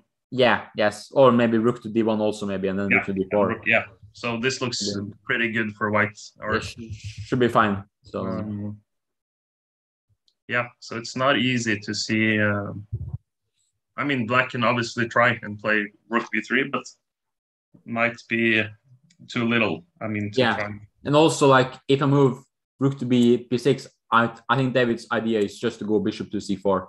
And as they say, like all rook endgames are drawn. Okay, not all, but I uh, think this one is uh, quite a big margin for David. It shouldn't really be any problem here. Uh, for for him, it should just be equal. So I ex- expect Nils to go rook to b3 here. And uh, meanwhile, we have uh, uh, yeah. So rook rook b3 is played. Um, I guess yeah, we're expecting maybe a4. And uh, meanwhile, uh, we have a question from uh, from Jelly Monster. Who are Sweden's and England's second highest rated players? Um, so Nils is uh, Sweden's number one player and has been for many years. Uh, in England, um, I still think it's uh, Michael Adams who is uh, number one on rating. And they have many strong players. You know, they have uh, Gawain Jones, they have Luke McShane, uh, Nigel Short. So I think all of them are quite similar. They have similar rating at the moment. So Yeah. right behind Michael Adams, you know, there are three, four players around 26, uh, 60, 70 um, on the rating list. But uh, do you know uh, which Swedish player? Um, yeah, so in Sweden they have uh, quite a few grandmasters on 2500, but as far as I know, probably number two after this is Yevgeny Agrest. Is my best guess. Yeah, Is he I around think he can- 20, 2600 or? yeah, yeah. He at least was. Um, I'm not sure now, but probably he is number two. And Uh, also Emanuel Berg was close to 2600. Ah, yes. So But I they have. Uh, might be high rated. Yeah. yeah, yes. So it's um, Emanuel Berg and Tiger Hillarp. But I think Evgeny Agrest is highest. I could be wrong, but I think so. Um,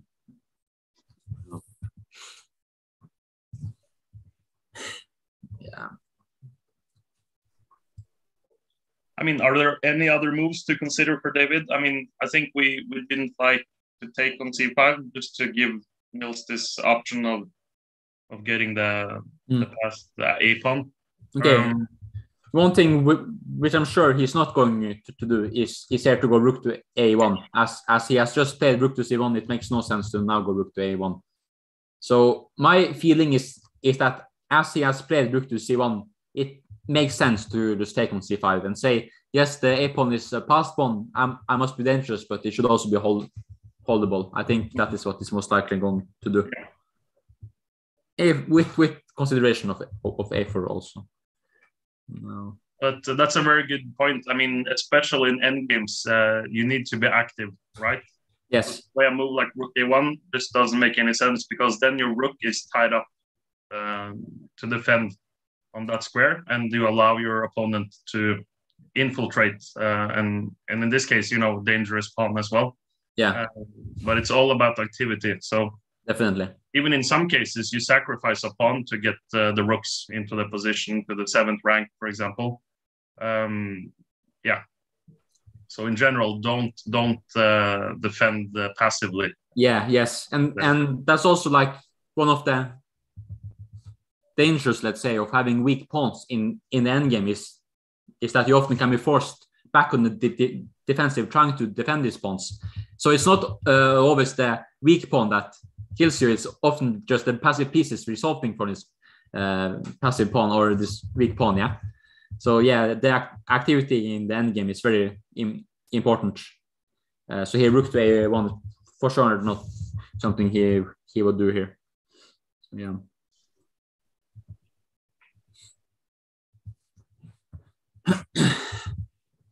Mm.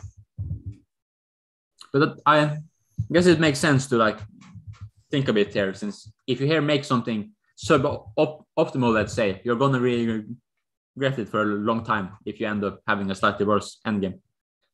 Yeah, absolutely. Um,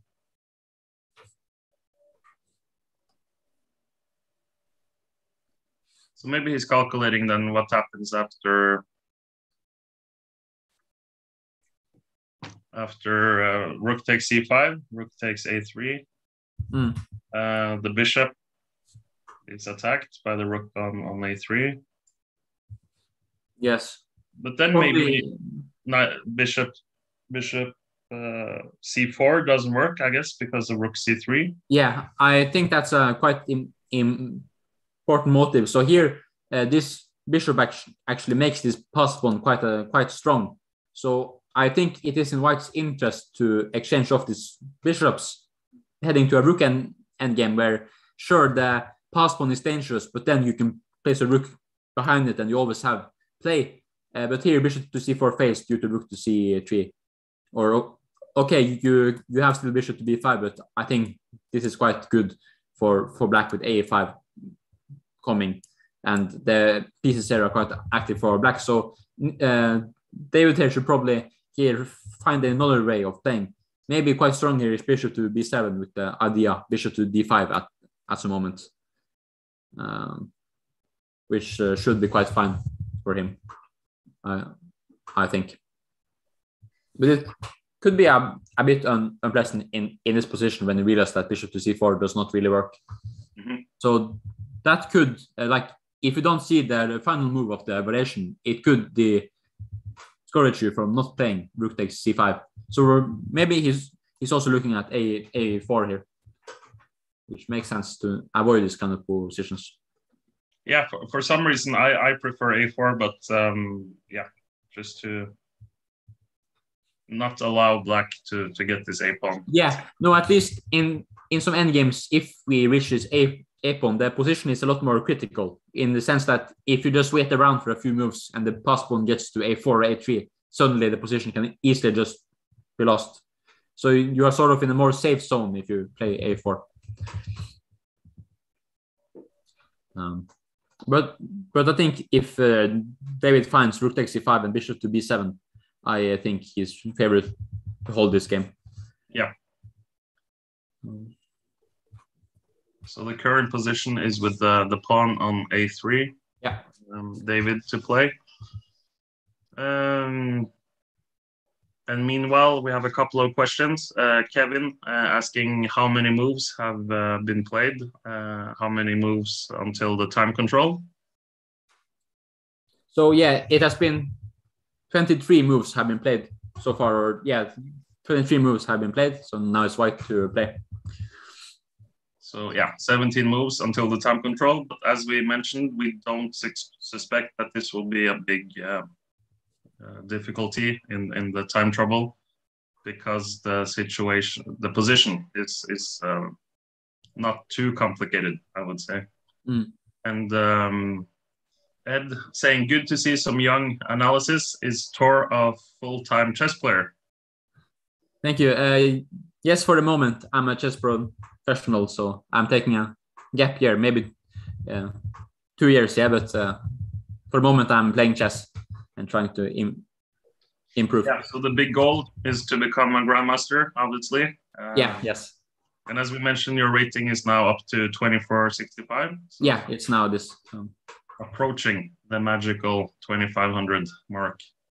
yeah, it will be a dream for a long time to become a grandmaster. So will be very nice. And uh, yeah, Jelly Monster. I didn't realize Nigel Short was still playing competitively. Um, I don't think he's a very active player, but he do still play some tournaments here and there. Um, I think he Yes. played a tournament in um, Italy or Yeah. Italy recently. So yeah, from time to time, still playing. A few times you can also see him on chess.com if you play there. He's active there also. So. Once a chess player, always a chess player. Yeah, yeah, yeah. No, that's like really with chess. It's a hobby for a lifetime. Like once you are uh, addicted, there is no way out, Yeah. as, as they say. And uh, yeah, okay, David is still thinking. Eight minute thing so far. Um, but it's also, as you said, it's good to just double check. Um, because even though the, the, the position is quite equal, uh, I still think black is the one that can create some chances. yes, yes, Uh, so so to be precise here uh, is important for David. Just not to fall into some some uh, tricks or uh, Yeah, yeah. allowing Nils to to create some uh, some advantage. yes. But just from a from a practical point of view, I would prefer just to play a4 and Yeah. then tell Nils, okay, how are you going to make any progress in this position? Mm. Yeah, I I also think A A4 is quite a good solution here. Also, it's also what I learned while watching this World Championship match be, between Magnus and uh, Pomnachi is that when Magnus has a winning position, he's really thinking for quite some time. Yeah. and it, it, it is like you're you're uh, using time now to save time later. So if you do the hard work while you are winning, you might save time in the like in in the long term. Like imagine if you're winning and, and you play fast, maybe not the most op- optimal, then suddenly it's a lot more work, and so on. And maybe it makes the it works the same way. If you're uh, like a bit okay, not much worse, but slightly worse. If you put in the work, it's a it's a like the drawing margin is a lot bigger. Then if you suddenly make uh, some some mistakes, then suddenly you have to be precise, That- and that's never so easy. So I think just using time makes sense. Yeah, absolutely. And uh, and while David is thinking, uh, maybe we should have uh, a really short break before we uh, come to the conclusion of this final game uh, of this match. Uh, David is still thinking uh, in this position, and uh, we'll be back uh, very shortly. So stay tuned.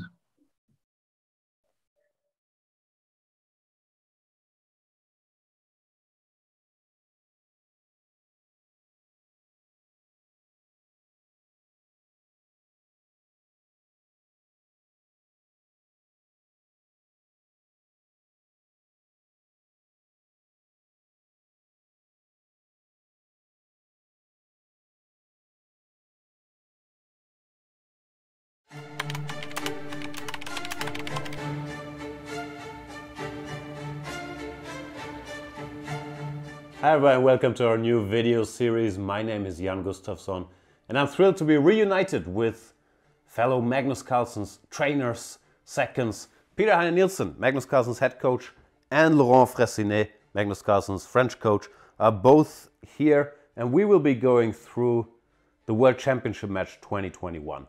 Our experiences with it, the games, what we prepared, where we felt things went well, where we felt things didn't go well. Peter, we have different perspectives because we were in different locations. Very much. I'm looking forward to talking to you guys about it because you were in Thailand during all the match, and I was in Dubai with uh, Magnus and the, you know, his non-chess team. So I see some kind of debriefing where we will discuss what was the mood in Dubai, what was happening in the technical department in Thailand, and we got to sort of basically compare notes and uh, yeah, get the two kind of inside looks uh, from the match. Very much so. And Laurent, we are actually in your private home. Thanks for having us. It's a big pleasure to, to welcome both of you. And I'm sure it will be interesting to talk to you guys about the match. Likewise. So we hope you guys enjoy the series with our behind the scenes insights. See you then.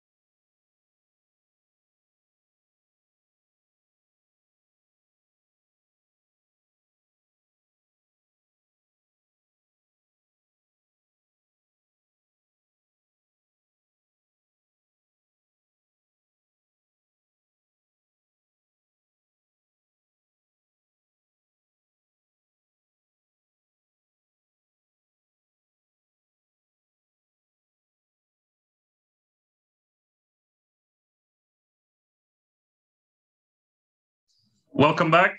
Uh, it looks like David has uh, found uh, a good good move in this position to to uh, liquidate some of the pressure he was under. This is the final game uh, of a 10, 10 game match uh, between David Howell and Nils Grandelius, being played here in the heart of London at the Swedish embassy. And David is quite happy because he's leading the match five to four which means a draw for him today with the white pieces uh, is a great result and will secure him the, the, the, the win in this match. And uh, do you see any chances at all now for, for Nils uh, Tor? Yeah, so uh, we have this position here uh, when in this position before he played uh, bishop to b7, where black has a passed uh, pawn here on the, the a file. So if this pawn can be pushed forward, Nils could potentially have some winning chances. But here, uh, David found a very nice move, bishop to b7, intending to go bishop to, to d5, uh, exchanging off these bishops.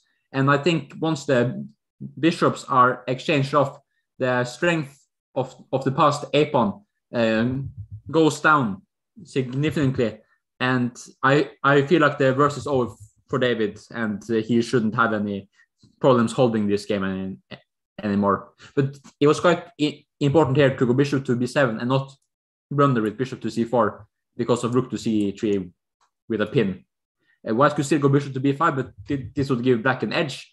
Uh, but bishop to b7 seems like a very precise way to play. Um, so I do not think that Nils' winning chances here are so high. Yeah. Um, yeah, I think yeah, after Bishop b7, it looks like David is in control at least at least in terms of, of making a draw. Yeah. Which would be a good result for him. And uh, yeah, this idea of just trading off the bishops seems like uh, from a practical point of view, uh, like a very good plan. Um, and it's hard to see that yeah, this a pawn can become a big big threat. Um, yeah, yes. Like once uh, white ex- exchanges off these bishops, let create some luft for his king to not get backmated, activates his last rook. Um, okay, I would still choose black slightly, as I don't think there is any way black can be worse, but um, also it's not really something special. So, yeah. And uh, yeah, as uh, Jordy JJ saying on the chat, David wins by securing uh, a draw today. Yeah, that's correct. So uh, we've had the two wins in this match for David, one for Nils, and uh, the rest of the games have been uh, draws. Although some very fighting and exciting draws, that has to be said. Uh, especially in game one, uh, Nils had a great position with the white pieces, and the computer loved his position, but David uh, managed to fight back and uh, save a draw in that game. And also in other other games that have been drawn, uh, White has been pushing in most of those games, and yeah, the players might be a bit, you know, kicking themselves for not taking advantage of some of the good positions they've had. But we also have to give them credit because they've been uh, defending very well and also finding uh, good uh, defensive resources when put under pressure. So uh, yeah, it's been a very really well played match. And uh, some uh, yeah some quality chess, I would say. For sure, yes, and I think David has shown his uh, qualities as a player, but especially as a defender also. So he has been under some pressure, but have been very good at the, the, the defending. And even if Nils has has been better, it doesn't mean that the point is uh, there. Yeah, so you always have to win those better po- positions, but it's not easy uh, uh, against tough uh, systems. Yeah. And uh, we have a question from Todd. Todd Smith, are you working on getting a title like uh, International Master Askild? No, I think my my uh, playing days are uh, close to over. So now I'm working on the Champions Chess Tour uh, with David, and uh, yeah, doing chess related work, but not not as a player. So um, I used to play a lot when I was younger, and uh, probably was a talent of some sorts uh, many years ago. But now I just enjoy watching chess and working with chess, and uh, and not play as much myself. But yeah, do still play a little bit, you know, online and one tournament here and there. But uh, yeah, I don't have any big ambitions on, uh, getting any titles at least. But it's still fun just playing, yeah. So yeah, absolutely. And uh, I mean, we've mentioned this uh, chess bar in in Oslo quite a few times. The Good Knight. I love going there, having a drink, meet up with friends, playing some uh, some blitz, and uh, yeah, just enjoying chess in in a different way, I guess, than than I used to do when I was younger, Mm. and traveling a lot and playing tournaments and and so on. Um, we do have a question. I don't have the live stream at the moment. Ah, let me see the video feed of the players. Um, Jelly Monster was ac- asking um, who are the two players in the background, and I assume uh, either uh, some people uh, working at the embassy or possibly one of them can be the arbiter um, for this match. Uh, didn't get the chance to to see them, um, but there are there is uh, an arbiter for the match, um, FIDE arbiter, and uh, obviously there are some people uh, from the embassy. Uh, there will be a reception for the players after the game, so uh, we might not be able to get the players, uh, unfortunately, today, but um, Mm. we'll see what uh, what we can do. Um, so uh, yeah, and and maybe even in this position you can play bishop um, bishop Yeah. d5 or So here uh, Nils plays rook to d8, which uh, has the point of like discouraging white of playing rook um, bishop to d5. The point is is that after bishop takes d5, if you here say go pawn takes d5, then black is going to go rook to d3, and say and after rook to a1 for for example, uh, say rook takes d5, rook takes, you are not in time to take the a7 pawn as your back rank is falling, and here black would would be winning probably. So Yeah. the point that is is that you're not in time to take the a pawn. But uh, here, Nils um, Dale has a really good resource, and if if he finds this, I think the game is soon going, going to, to be over. And and that's here to go rook to d1, pinning the. Um, ah that's a that's a great move Yes, and uh, now you you you can take back on d5 without having to worry about the back rank for for the moment. And I think a position where you take with the pawn, the d pawn is not much weaker than than the a pawn. It should just just be a draw. So yeah and so suddenly black has to be careful with the with the D pawn running but i guess you can bring yes. king, king over but uh, yeah it looks very drawish if, yeah, I mean by this point, white is not worse. So but also it shows that you know having uh, luft for the king in some positions is is quite important yeah, uh, as you can see uh, with the pawn on h6 uh, nils uh, achieved that earlier in the game. Um, and i guess i mean i've lost uh, when i was younger started playing chess i have lost to back back rank mates you know and it's it's always a terrible feeling. So uh, a general advice would be to to move you know h3 uh, in some positions at least or g3 um, just to get some extra squares for the king which is quite uh, useful, especially in the in the end game. yeah, So it, it can become a route for the king to to become active, you know, later on in the game. Um, especially if you play g6 or g3, you can go up up, uh, up, Yes. up to the center of the board. but I think yeah. uh, rook to d8 is quite a good practical try. Um, okay, if uh, David finds, but it's not so. Okay, he's very capable of finding it, but maybe it's not the most natural thing to see this rook to d d1. It's a very nice mo- motive. Yeah, absolutely. And um, I mean, after bishop d5, why, black doesn't really have that many good moves. I mean, if if he's not taking on, on d5, what what to do? Yeah, I'm not sure. I think anyway, just having this bishop pair is very, very nice. You, you could thinking about taking this pawn, but say black plays like a move like a, a5. I thi- think it makes sense to just create some luft for your king, like h3 or h4. Sure, let's say h h3 then, and soon enough a rook is going going to come active. Uh, so I, I think just having this bishop pair is very nice.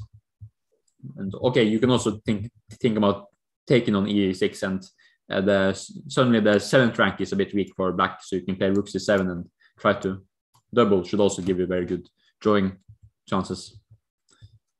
But if here David gets nervous, let's say, and just makes like, uh, let's say he just play like h h3, then I think if if he's not careful, the a pawn could potentially be be strong. Okay, you uh, always have the bishop to d5 maneuver, but if if you don't see it and the pawn slowly gets to a3, I I really think White has has to be careful. Yeah. Um, so I think it's best there to be super precise. It's always best to be super precise, but it could be of uh, importance here. Yeah, and um, Mario Racic uh, asking, do the players lose rating points in this match? Yeah, they do. So uh, I think David is about five rating points up, having one more win uh, than Nils so far in this match. And uh, and we have also one question from uh, Susanna uh, about David Howell. He was a chess prodigy and the youngest to become a grandmaster in England. What was the reason he didn't become a chess professional? And uh, I mean, yeah, he was, I would say, a chess professional for many years. But he also went to university. He got a degree, a master's degree.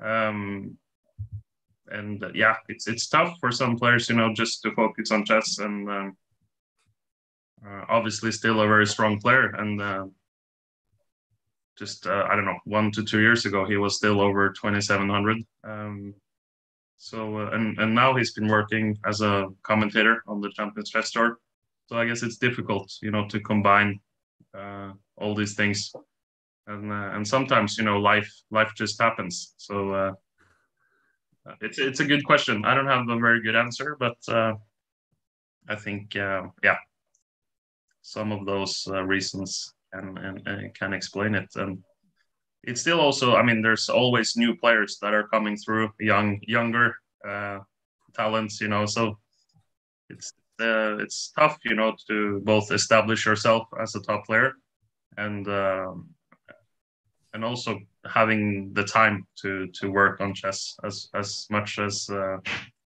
is needed if you want to maintain at that level. So it was very hard work. And even if you're a child prodigy let's say and this you you become a grandmaster at early age it's not a guarantee that you're going to become 2700 plus and and even further. And david uh, achieved this so it's a great uh, uh, achievement also of course. And uh, mario saying thank you Askild. Good pronunciation of my last name. Uh, that's nice. And master degree in what field? And I think I, I, I asked David about this yesterday. We had dinner with Nils and Ellen, and it's it's quite um, a niche uh, field. I would say it's medieval literature, English Medieval. medieval. medieval. So yeah, medieval det er middelalderen på norsk. Ah, så, ah, ah. so medieval literature, uh, English uh, medieval literature. So that's uh, quite the niche uh, field, I would say. But yeah, David loves history, and uh, so um and Susanna, I see. Thanks for the answer. Thanks for great comments and analysis as well. Uh, thank you for watching, and uh, hope. Uh, Hope to see you again soon here on Chess24. And I uh, think that if David finds bishop to d5 and rook to d1, it's uh, close to perfect uh, defensive game. I mean, really uh, nicely played, and uh, so yeah, I agree with you. And uh, I I expect him to find this move now after a long long Yeah. Um, and as you say, you know, it's often it's a process of elimination. Mm. There aren't that many uh, candidate moves for White in this position, and uh, obviously David knows if he can trade off the bishops, um, he will be one step closer to getting the draw. Uh, he needs to win the match, so uh, yeah, uh, I wouldn't be surprised if he if he plays bishop d5. yeah, like it's he's very capable of finding this move, but the position kind of makes him uh, demand seeing it. But but okay, he also plays h h4, so it's no problem with this move if he finds bishop to d5 later. Yeah. So it's kind of like this. He, he can still play it. Yes, so I now expect Nils to just go a5 pawn further, it's it's his hope, yeah, that they a, a pawn is the reason why maybe black has a bit better chances, but Yeah. um, I mean, realistically, that's that's the only way for black to, to win this game. If yeah, pawn can um, can go all the way up to a1 and become a new queen. And uh, yeah, Todd has a question for you. Uh, what is uh, Tor Tor uh, studying in school? And uh, I mean, you have a you mentioned you have a gap year now. And Yeah. Before that, you went to the chess school, right? yeah, after NTG, um, coached by Simon Agdestein. So, uh, um, yeah, so my interest is the, the side chess. I I really like his sto- story a, a lot. So I could pot- potentially do do something like that, but uh, I'm still not sure what I po- potentially could study. So You're you're still so young, so you have uh, plenty of time, and uh, Yeah. and now you're focusing on chess, and I hope uh, I hope you will uh, reach your goals uh, in in chess. thank you so much. Yeah. And um, yeah, Hendra Petrucci, how much is the prize money? So what's a bit uh, special for this match is they're actually playing for prize money in every game, and uh, the winner of a game gets fifteen hundred pounds. If it's a draw, both players get five hundred pounds, and if it's a loss, you get two hundred pounds. So uh, I think both players have made uh, yeah decent amount of money. Um, obviously, David has one more win uh, compared to Nils. So uh, I think we will get exact figures uh, later on, but uh, at least uh, five six thousand pounds, uh, I believe. Uh, so that's quite good money for for uh, ten days of play. And seems like this match has been a success. So it's a possibility it might be like hap- happening sometime next year, maybe or something.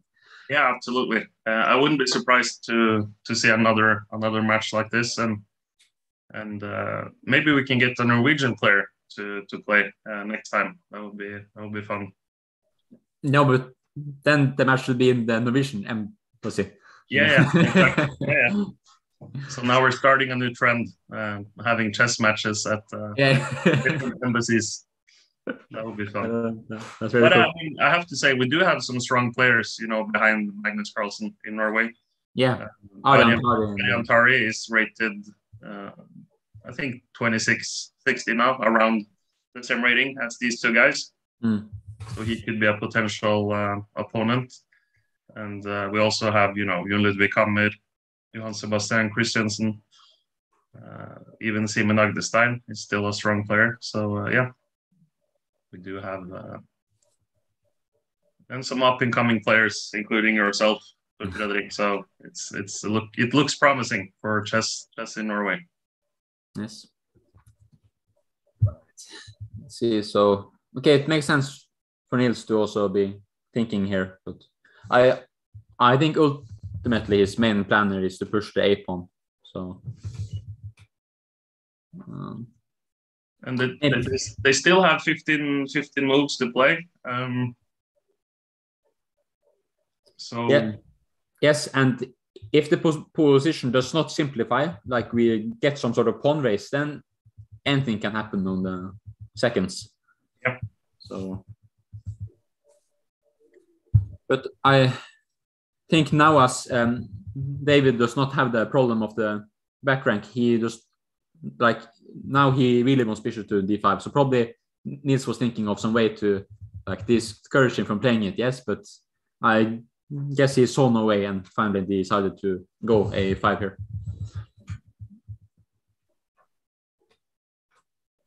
So I expect now uh, bishop to d5 from David. Uh, I'm sure there, there are some other moves as as well. Maybe you could also think about going rook fc1 with idea, maybe bishop to c8 or something like this. Mm.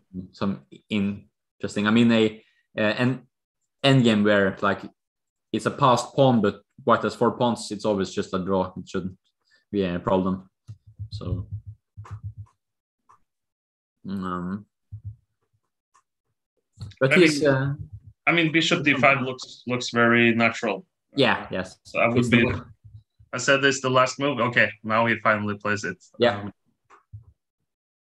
but also now, I guess um, you can even take back with the with the pawn if you want Yeah. to.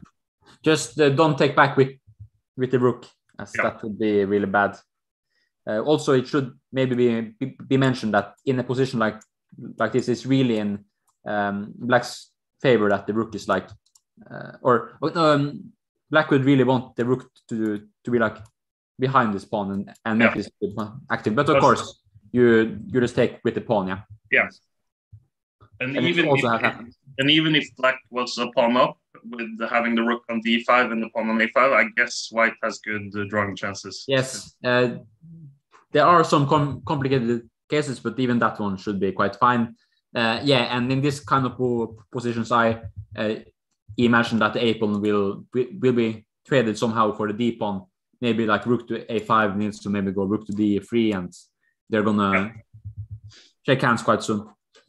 Yes, So- you can also play rook d1 first and then rook a5. But I Yeah. think it's yeah the same idea basically. Yes, Trade off those pawns and then we have a completely symmetrical uh, position which uh, should be drawn every day Yes. of the week basically. moment the bishops are off, this is the pawn is a lot less dangerous, as as we have said. So it, it should be fun for David.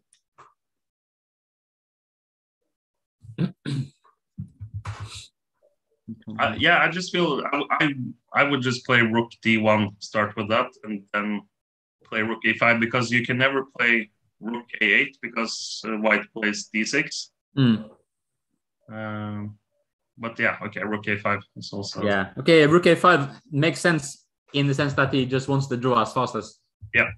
possible to be to win this match. Yeah. So, but I mean, there was nothing wrong with rook to d1 also. I think it leads to same idea. And uh, if Nils now plays rook d3, uh, I think we will have a result quite uh, shortly. Yeah. But, but but also like there is no real way for for Nils to keep playing here. The only idea would be to bring the king, but that would be way too risky, and the rook can come to seventh rank. Uh, you Yeah. should really go into a- adventures like this one. So, I, So suddenly, then white can go for try and win with some uh, attack on the seventh rank. So yeah, yes, um, I think Nils, yeah, realizes that this is heading towards a draw now. but anyway, I I think even if it's a draw, I think Nils can be more or less satisfied with how he played the last game. I mean, he I mean, really yeah. tried his best, and so all credit for him to trying the last game, and David just defended very well. Yeah, and as we said, you know, uh, in the start of this game, um, Nils uh, would have to get uh, a position where he's active and with some some uh, attacking chances, and uh, he definitely achieved that out of the opening. Yeah, But then again, David just found uh, a very nice uh, series of moves which uh, balanced out uh, the position. And uh, after Nils uh, sacrificed uh, the pawn with e5, David calmly uh, gave back the pawn and uh, and uh, yeah, found a good continuation for him. So uh, yeah, credit to both players. Uh, it's been a well played game. yeah, sure. So, but I also like the practical solution of David into going into this simplified position, where uh, yeah, he was just precise and held. So, I think Nils, yeah, he- with a draw, he's losing the match, so it, he's probably just thinking a bit to prolong it. Yeah, but Yeah. so, But those are always tough, you know, the, the last few seconds before you resign, for example, in a, in a, in a classical chess game, you know. Uh, yeah, Your brain often- is saying, you know, okay, just resign, just resign, but then your your body wants to continue the game. Yeah, yeah, yeah. Uh, it's very hard to actually resign. Yeah. Also, often when you're sitting there those last seconds, you're often not, or at least sometimes you're not thinking about the actual game. You're more just thinking about, Yeah. uh, how am I going to feel now? This is going to be terrible, and, Yeah. and so on. So it's definitely a very painful moment. Also, the, okay, it's a difference of losing and making a draw. I mean, you're not as sad in this. Yeah, absolutely. And uh, I mean, we've all been there, uh, experiencing uh, difficult losses, and um, it's just a part of the game. Yeah. And then you have to try and learn something from those uh, losses to Yeah. become a better player. Yeah, and here we see rook to d3, so I expect a draw very soon. This is basically a draw offer after rook takes a4, and rook takes d5, and we have a complete uh, symmetrical uh, position. Mm. Ah, Yeah, so that's a clever move, just to trade off a pair of rooks. yes, then there is no way that is not going to be a draw. If it was two rooks, maybe the, the rook could penetrate on the s- second rank, could potentially be something, but here uh, it's Yeah. really nothing. And uh, Very clean way uh, to to secure the draw there from uh, Yeah. from David. and here we also see the importance of having the pawn on h4 that you now can actually take the pawn due to no back rank mate. So, Yeah, exactly. Um, have they agreed a draw or?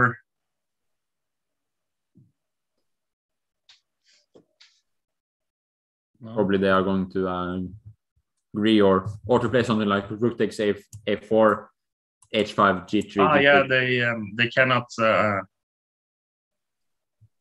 yeah something like this yeah yeah, makes uh, makes sense.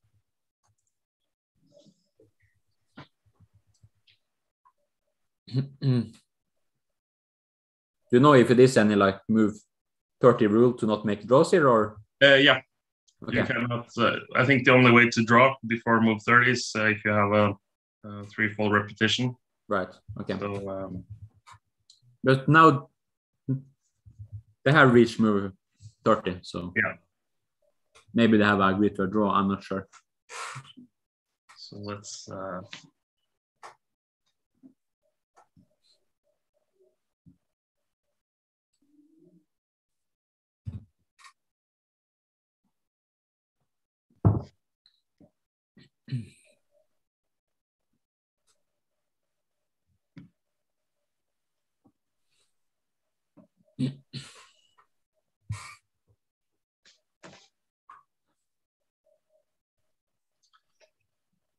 Not sure if David is definitely not losing on time, so uh, I think there might be just some delay.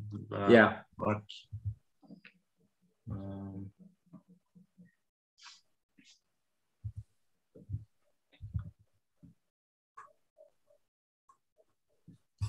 and uh, while we're waiting for the result, uh, I just one last time want to remind everyone of this uh, fundraiser we are doing with uh, the Norwegian Refugee Council.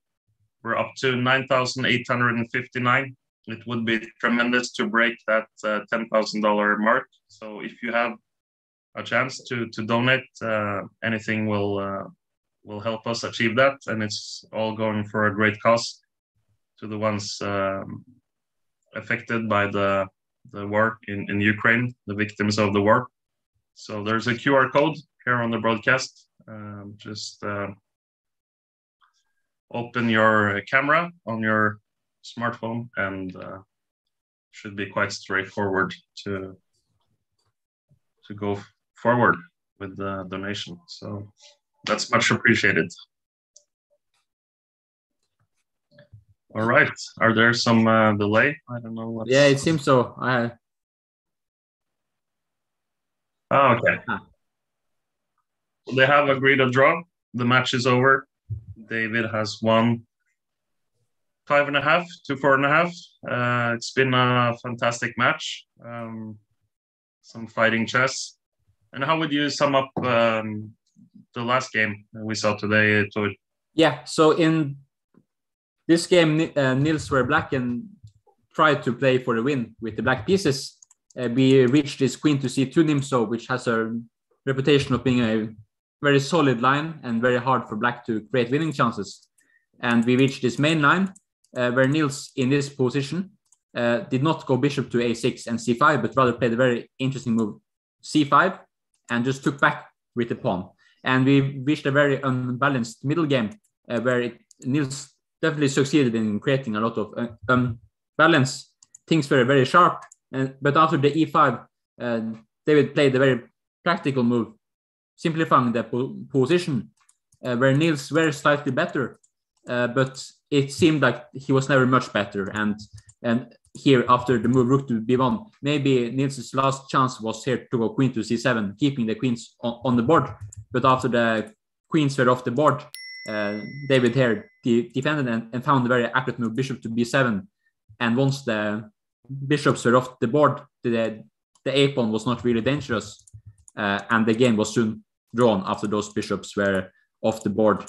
Um, so a good game from Nils trying to create some pressure, but David just uh, defended very well, and he was the, the third winner of of this match, I would say. So well played by by both. Yeah, uh, absolutely, and um, yeah, it's been it's been a great uh, great match. Um, Ten exciting games. Uh, three wins in total. Two for Nils. No, sorry, two for David. One for Nils. Um, some missed uh, chances here and there, um, but as we've uh, said, also very good, you know, defensive play uh, at times, creating or using the resources they have in the different positions to either uh, defend well or create uh, some counter attacks of some sorts. So I mean, two great players battling it out to the very end, and yeah, congratulations to David. Nils obviously is, is a more active player than David, so I think uh, I'm I'm sure David is very happy uh, with this result, uh, getting some nice prize money, but also gaining a few rating points. Which uh, I mean, chess players say that uh, they don't think too much about rating, but everybody knows that uh, they love increasing the rating. So sure. it always feels so good. even though it's only five points the higher rated you are, uh, the more you appreciate every rating point. So uh, for sure. So I'm I'm uh, I'm uh, I'm sure David is is feeling great at the moment, and um, must be good for him to to uh, to tell the world that you know I can still play uh, chess at a high level, even though I'm I'm not as active as I used to be. And yeah, also credit to Nils. I mean, he he played some very good games uh, showed us some interesting ideas in the different openings, and uh, I'm sure he will do do well in the European Championship, where you also will be playing uh, Tor Fredrik. So, Yeah. uh, looking forward to to see see you both there, how you, how you will do, and uh, also want to remind everyone, uh, David and I will be back with the Champions Chess Tour starting uh, March 19th. Uh, the players will be announced early next week, I believe. So uh, looking forward to another uh, tournament there. And uh, yeah, thank you all so much.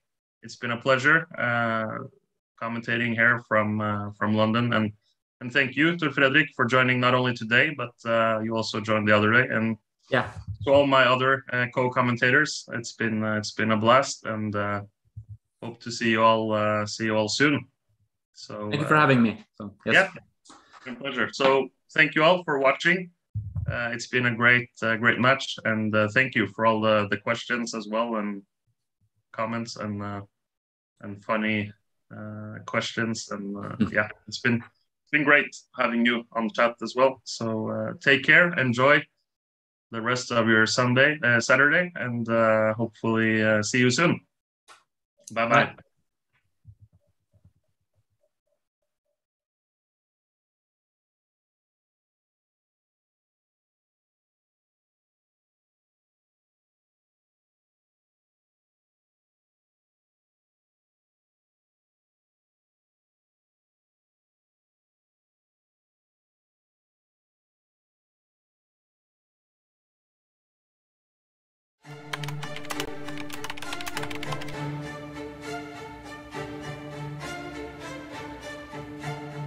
Hi everyone, welcome to our new video series. My name is Jan Gustafsson and I'm thrilled to be reunited with fellow Magnus Carlsen's trainers, seconds, Peter Heine Nielsen, Magnus Carlsen's head coach, and Laurent Fressinet, Magnus Carlsen's French coach, are both here, and we will be going through the World Championship match 2021.